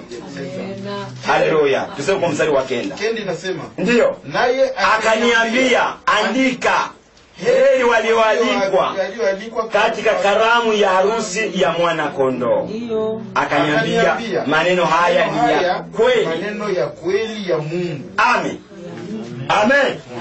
Amen. Amen. pale kunatiwa sinye. akaniambia akaambia yohana maneno haya ni maneno ya kweli ya mungu natia sahihi. Haiwezi kupita. Heri walioalikwa katika karamu ya mwana kondoo je umeshapewa invitation na yesu umeshapewa invitation na uko na uhakika kama uko nayo niko nayo. Heri walioalikwa katika karamu ya harusi ya mwana kondoo akaniambia maneno hayo ni ya kweli ya mungu. Ya kweli ya mungu. Harusi ya mwana kondoo inakuja naye mkewe anajitakasa takasa. Tuko muutakaso wa bibi harusi. Tunajitakasa takasa tunajifanya kuwa weupe parapande iliye na kuambia kule kutapitwa kule. Kutapitwa kule kutapitwa. Mtu mmoja aliimba hivi mwimbaji mmoja aliimba hivi.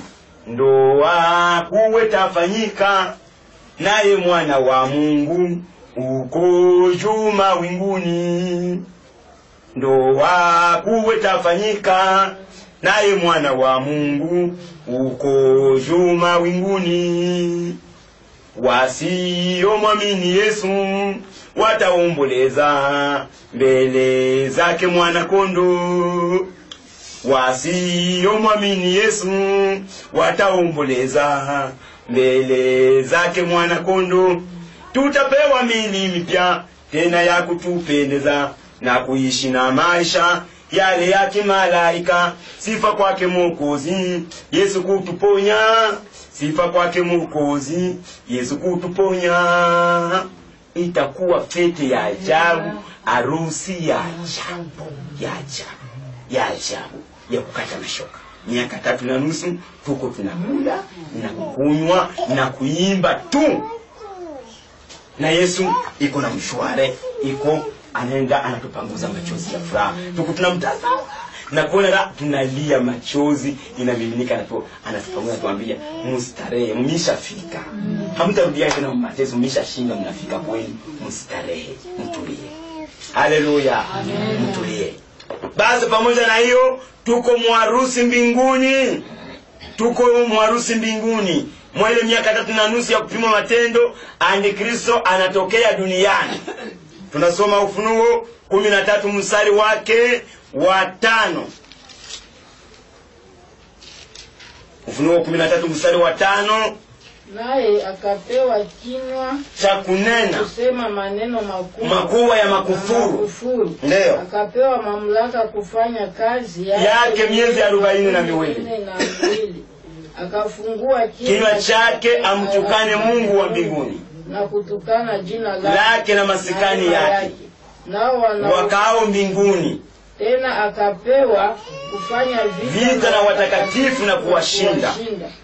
akapewa mamlaka juu ya kabila Kila lugha na kila- na taifa. Ndio. Na watu wote wanaokaa juu ya dunia watamwabudu. Eh. wale majina yao haikuandikwa kwenye kitabu cha mwana wa kondoo aliyechinjwa. Mwana kondoo aliyechinjwa tangu kuwekwa misingu ya dunia. Eh. mtu akiwa na sikio Na asikie.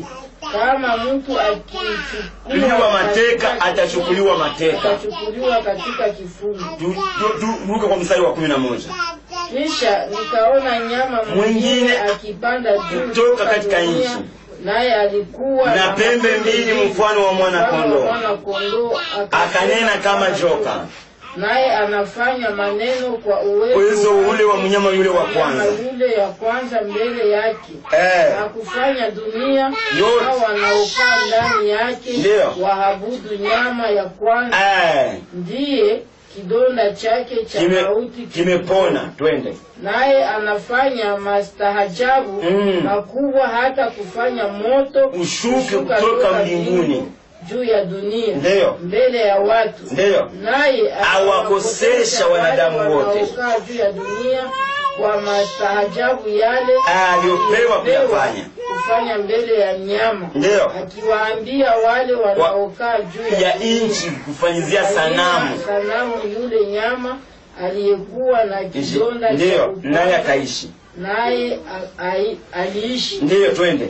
Akapewa uwezo kutia pumzi ndani ya kinywa chake. sanamu hata ile sanamu ipate kusema. ile sanamu ya nyama Eh. iseme. Ndio, na kufanya wote wote wasioabudu ile sanamu waende kukatwa vichwa. wauawe. Ndio, naye akawafanya wote Wakubwa kwa wadogo. wakubwa na Matajiri kwa masikini. Walio huru kwa watumwa. Ndiyo. chapa kwenye mkono wao wa kuume na katika paja za uso wake. katika vipaji vya nyuso zao. Ndiyo tena mtu asiweze asikununua wala kuuzisha asipokuwa na sita sosani sisi. au jina la nyama yule ndiyo au hesabu ya jina, jina lake. hapa Ndipo penye hekima. yeye aliye na akili naanza kuhesabia hesabu ya mnyama yule. Maana ni hesabu ya kibinadamu. yake ni mia sita makumi sita na sita. amen. Amen. amen. Haleluya amen. Kanisa liko mbinguni mwarusi andikristo anatokea duniani pale pale kanisa linanyakuliwa. Anaunda guvernema yake. Watakuwa wawili. Naye anapewa mamlaka atawale miezi makumi na mbili. Anapewa kinywa chake anafungua kinywa anatukana mungu anatukana masikani ya mungu anatukana vyoboti wenye bako mbinguni. Anapewa mamlaka kutawala kila lugha na kila rangi na kila taifa na kila mtu yoyote mwenye amebakia dunia. Haleluya. Heri na mtakatifu ni yeye aliye na sehemu katika ufuko wa kwanza kama hautanyakuliwa upele usipopenda kesho watakutia kashi kwenye mkono wa kume wala kwenye kwenye uso. Hautauzisha hata kalanga kwa barabara hautauzisha hata mkate kwa barabara usipokuwa na sita tatu. Haleluya. Amen. amen. Amen. antikristo anatokea duniani kutoka kati ka erope katika kontina ya erope. Na huyu mnyama mwingine mwenye kuwa na pembe mbili mfano wa mwana kondoo. Ndo anaitwa nabii wa uongo. Naye anatokea wapi? Anatokea kwa yerusalemu. Wote wanaungana wote wawili. Na huyu nabii wa uongo ana mama yake. Na mama, mama yake ni mwisraeli lakini hana baba. Shetani ndo aliforume ile mimba yenye ime, imezala ule nabii wa uongo. Amen. Na leo iko mwisraeli iko mu Yerusalemu leo.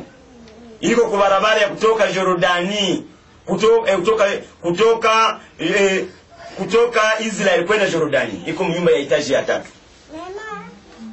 Eh, mama yake ni mwisraeli lakini hana baba. Naye iko miliarderi ameshaweka faranga kumabangi boloke yenye atakuya kutumika pamoja na antikristo sasa nyuma ya kanisa kanisa liko mbinguni wote wawili wanakutanana. Na watakwenda kuweka makao wapi? Wanakwenda kuweka makao kwa yerusalemu. Ndio kwenye wataenda kutia kapitale yao mji wao mkubwa. Kwa sababu dunia yote itakuwa mungu. Mungu ameshamaliza neema mkontina tano mungu anakamata neema anaibeba kwa israeli jana mungu amesema neema iko karibu taisha amkusikia? Neema ita, iko karibu tu ina, kufika kwa ukomo. Sio kanisa tu linanyakuliwa na neema inaisha kwa mataifa yote. Batu watabakia bako bana, bana ma, makanisa tabakia hivi hivi na watu watabakia hivi. Bako wanafanya maabudu inakuwa ni antikristo mungu haiko tena. Mungu anarudisha neema kwa yerusalemu kwa israeli. Basi pamoja na hayo wakati ndio maana paulo ameandikia warumi kwa kumi e, kumi na moja kumi mstari wa saba. Warumi kumi mstari wa saba. Tunapendaga tusome eh, kila vesi watu wa waelewe na mafundisho. Kumi mstari wa saba. Warumi kumi mstari wa saba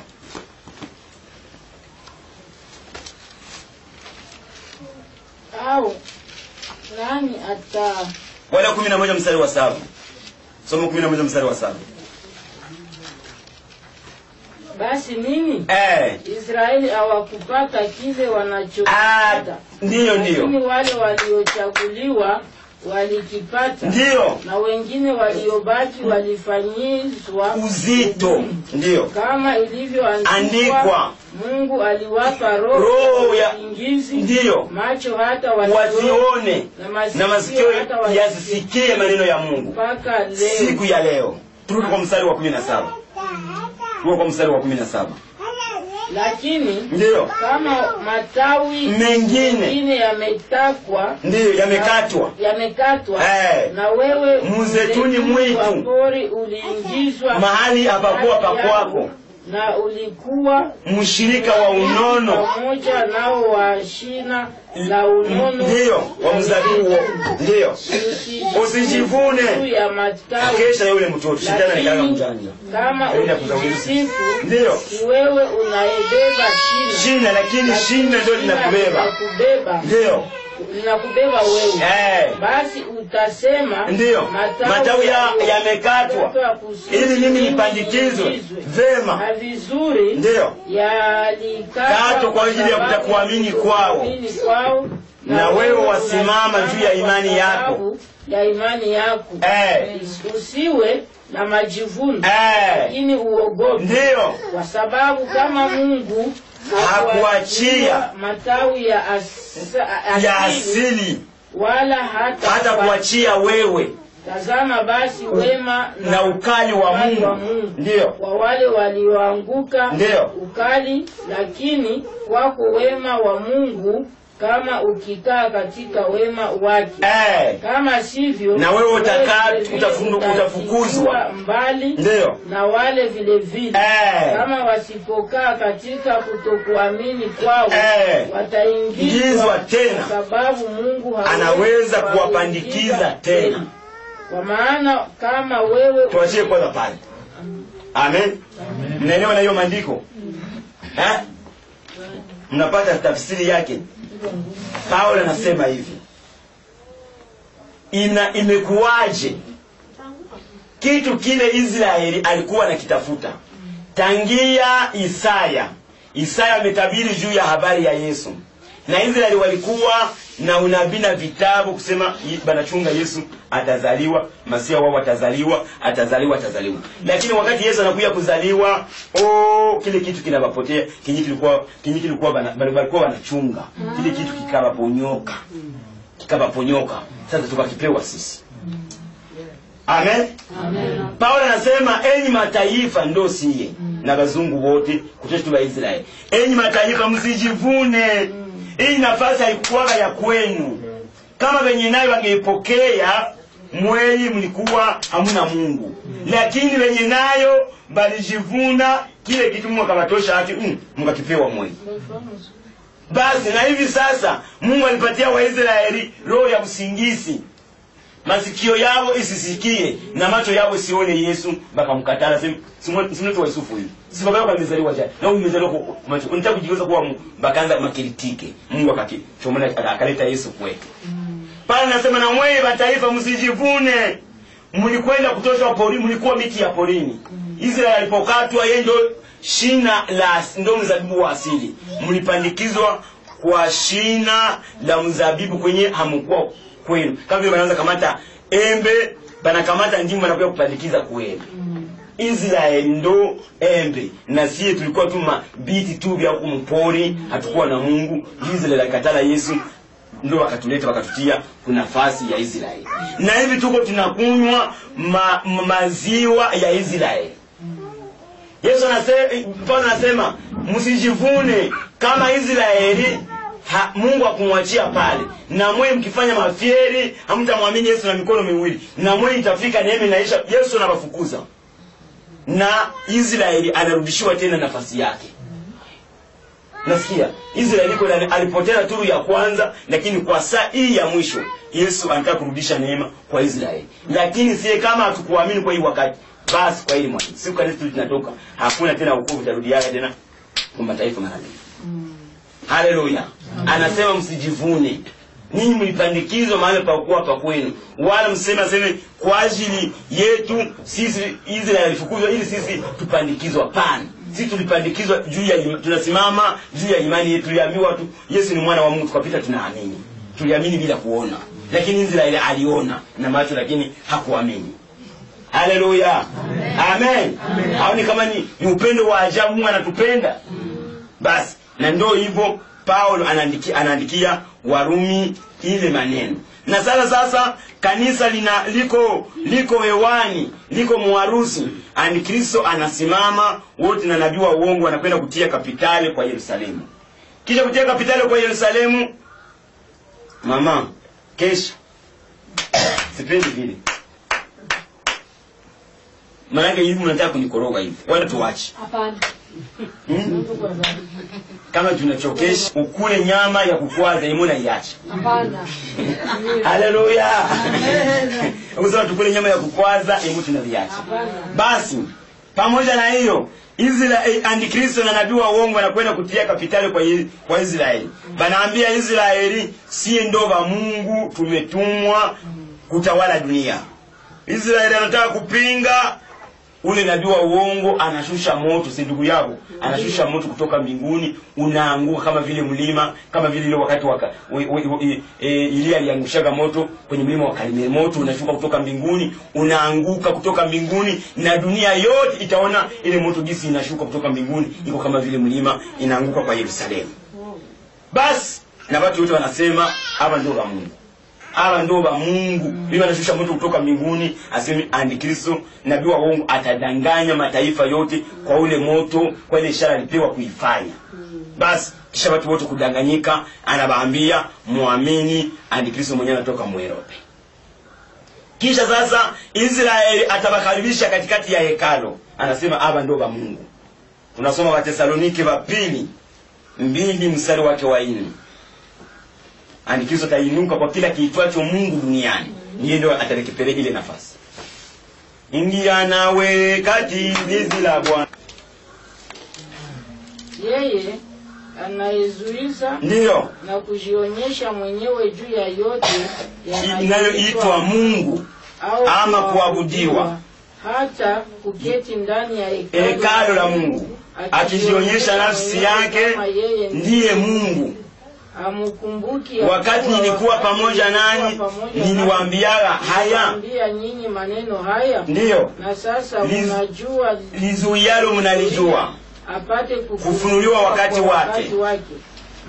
ile siri ya uasi kuasi hata sasa inatenda kazi. lakini yupo azuiaye. atakapoondolewa ndipo atakapofunuliwa yule asi ambaye bwana yesu atamuua kwa pumzi ya kinywa chake na kumwangamiza kwa ufunuo wa kuwapo kwake. Amen. Amen, paulo anasema ule mpingamizi yani antikristo nyuma ya kanisa atainuka kwa kila kitu kiitwacho mungu. Na ndio maana unaona anatayarisha vitu yote makanisa kutia pamoja yeye ndio atainuka kwa kila, kila, kila kitu kile kinaitwa mungu. Ni pale yeye atasimamia. Haleluya. Anasema wakati nilikuwa pamoja nanyi niwaambiaga haya maneno. Sasa linalozuiza mnalijua bibi harusi hata atakapoondolewa ndipo atakapofunuliwa ule asi atakayefunuliwa ule asi ambaye bwana yesu atamua kwa pumzi ya kinywa chake na kumwangamiza kwa ufunuo wa kuwapo kwake haleluya Amen. amen Amen. amen Amen. basi kisha antikristo anasimama katika hekalo ya yerusalemu israeli anawakaribisha kwa ile ishara anawaingiza katikati ya hekalo ya yerusalemu ile maandiko danieli alitabiri matayo makumi mbili na nne mstari wake wa kumi na tano. Mtakapoona chukizo la uharibifu lile lilioneno na nabii danieli linasimama mahali patakatifu asomaye na afahamu. Haleluya! Chukizo la uharibifu litakuwa limesimama mahali patakatifu. Sasa israeli andikizo naambia israeli uta, utaabudu hii sanamu yetu. Utaabudu hii sanamu yetu. Na kisha sasa kuambia waiabudu ile sanamu israeli anasema hata israeli anasema haiwezekane mie siwezi kuabudu sanamu. Basi israeli ataenda, murenyo ili apate kufukuza antikristo na nabii wa uongo katika hekalu ya yerusalemu. Kisha atakamata israeli atakamata antikristo na nabii wa uongo anawafukuza kwenda kupiganisha israeli ndio kwenye kutaanzia sasa vita vya armagedoni Saba kumurenyo anaambia bapresida ba, ba nyina bashuru nabaambia mtie masahii twende kupiganisha Israeli. Bapresida bamoja wanaitika, wengine wanakatana. Kisha Mungu anaambia malaika wa sita amimine kitasa, Ufunuo 16 mstari wa 13. Lakini tuanze 12. Kuna bakia nyuma ya hiyo vesi kunabakia vesi mbili tu tunamaliza. Ufunuo 16 mstari wa 12. Malaika ya sita Akamimina kitasa. chupa lake juu ya mto ule. Mkuu wa Farati. maji, yake yakakauka. ili njia itengenezwe kwa wafalme watokao mauyo ya jua. Katika pahali ninapotoka jua. Ndiyo nikaona pepo wachafu watatu wanayofanana na vyura. wakatoka Katika kinywa cha yule joka, na katika kinywa cha yule nabii wa uongo. nyama Katika kinywa cha yule wa uongo. kama jura. ndiyo maana Hizi ndizo roho za mashetani. wanaofanya ishara na kuendea wafalme wote wa dunia kwa wafalme wa ulimwengu wote, Kuwajaza hasira. kusanya kwa vita ya siku ile kuu ya mungu mwenyezi tazama Naja kama vile mwivi. Akeshaye- akesha- mavazi yake asiende uchi. hata watu wakaiona aibu yake. ndiyo kusanya hata mahali wakiitwapo wakiebrania Haramagedoni. Amen. Amen. Amen. zile pepo tatu ziko mto farati. Na ule mto farati ni tanganyika mwenye anatoka yerusalemu anashuka shine mpaka kwa iraki ile mtu ndo yenye yenye mungu alikuwa ametosha imo maji ya kupatia shamba ya edeni. Amen? Amen. mwa ile mto ile mto farati. Ndo kwenye mungu alikuwa anatosha maji ya a- a- manake mkifilipi tunasemaga e, ingera. Manake maji kidogo anaileta ana- manake anapi- ana, anapitisha amfresh kama vile tunaona makio muni ndio yesu mungu alikuwa anatosha maji kidogo kupatia shamba ya edeni maji. Mwele mto farati. Sasa mwele mto farati mko pepo tatu za mashetani. Nazo zitafunguliwa wakati kanisa linakuwa mbinguni. Nazo ndo zitatoka mule zinatawanyika zinakutana mapresida bako zinawaingia zinawaingiemo na wote wanapita banasara banachukia israeli. Na wote wanatia masahihi ba, baende bapiganishe israeli. Kisha sasa watakapofika kwa yerusalemu. Haleluya. Banatinga israeli. Banatinga israeli bapate kumwangusha. Maana siku moja yesu alitoka katikati ya kijiji akakaribia katika kapitali ya yerusalemu. Akasema hivi. Akaona israeli hamjali akasema akatosha machozi akalia. Akalia machozi. Na kulikuwa wimbo wa baimbaji walikuwa walikuwa wanaimba ile wimbo yesu alilia yerusalemu akatosha machozi akasema light ni luka kumi na kenda mstari wa makumi nne na moja. Light ungalijua yapasayo amani lakini yamefichwa machoni pako. Tazama siku zinakuja. Adui zako watakujengea boma likuzunguke. Watakuhusuru pande zote.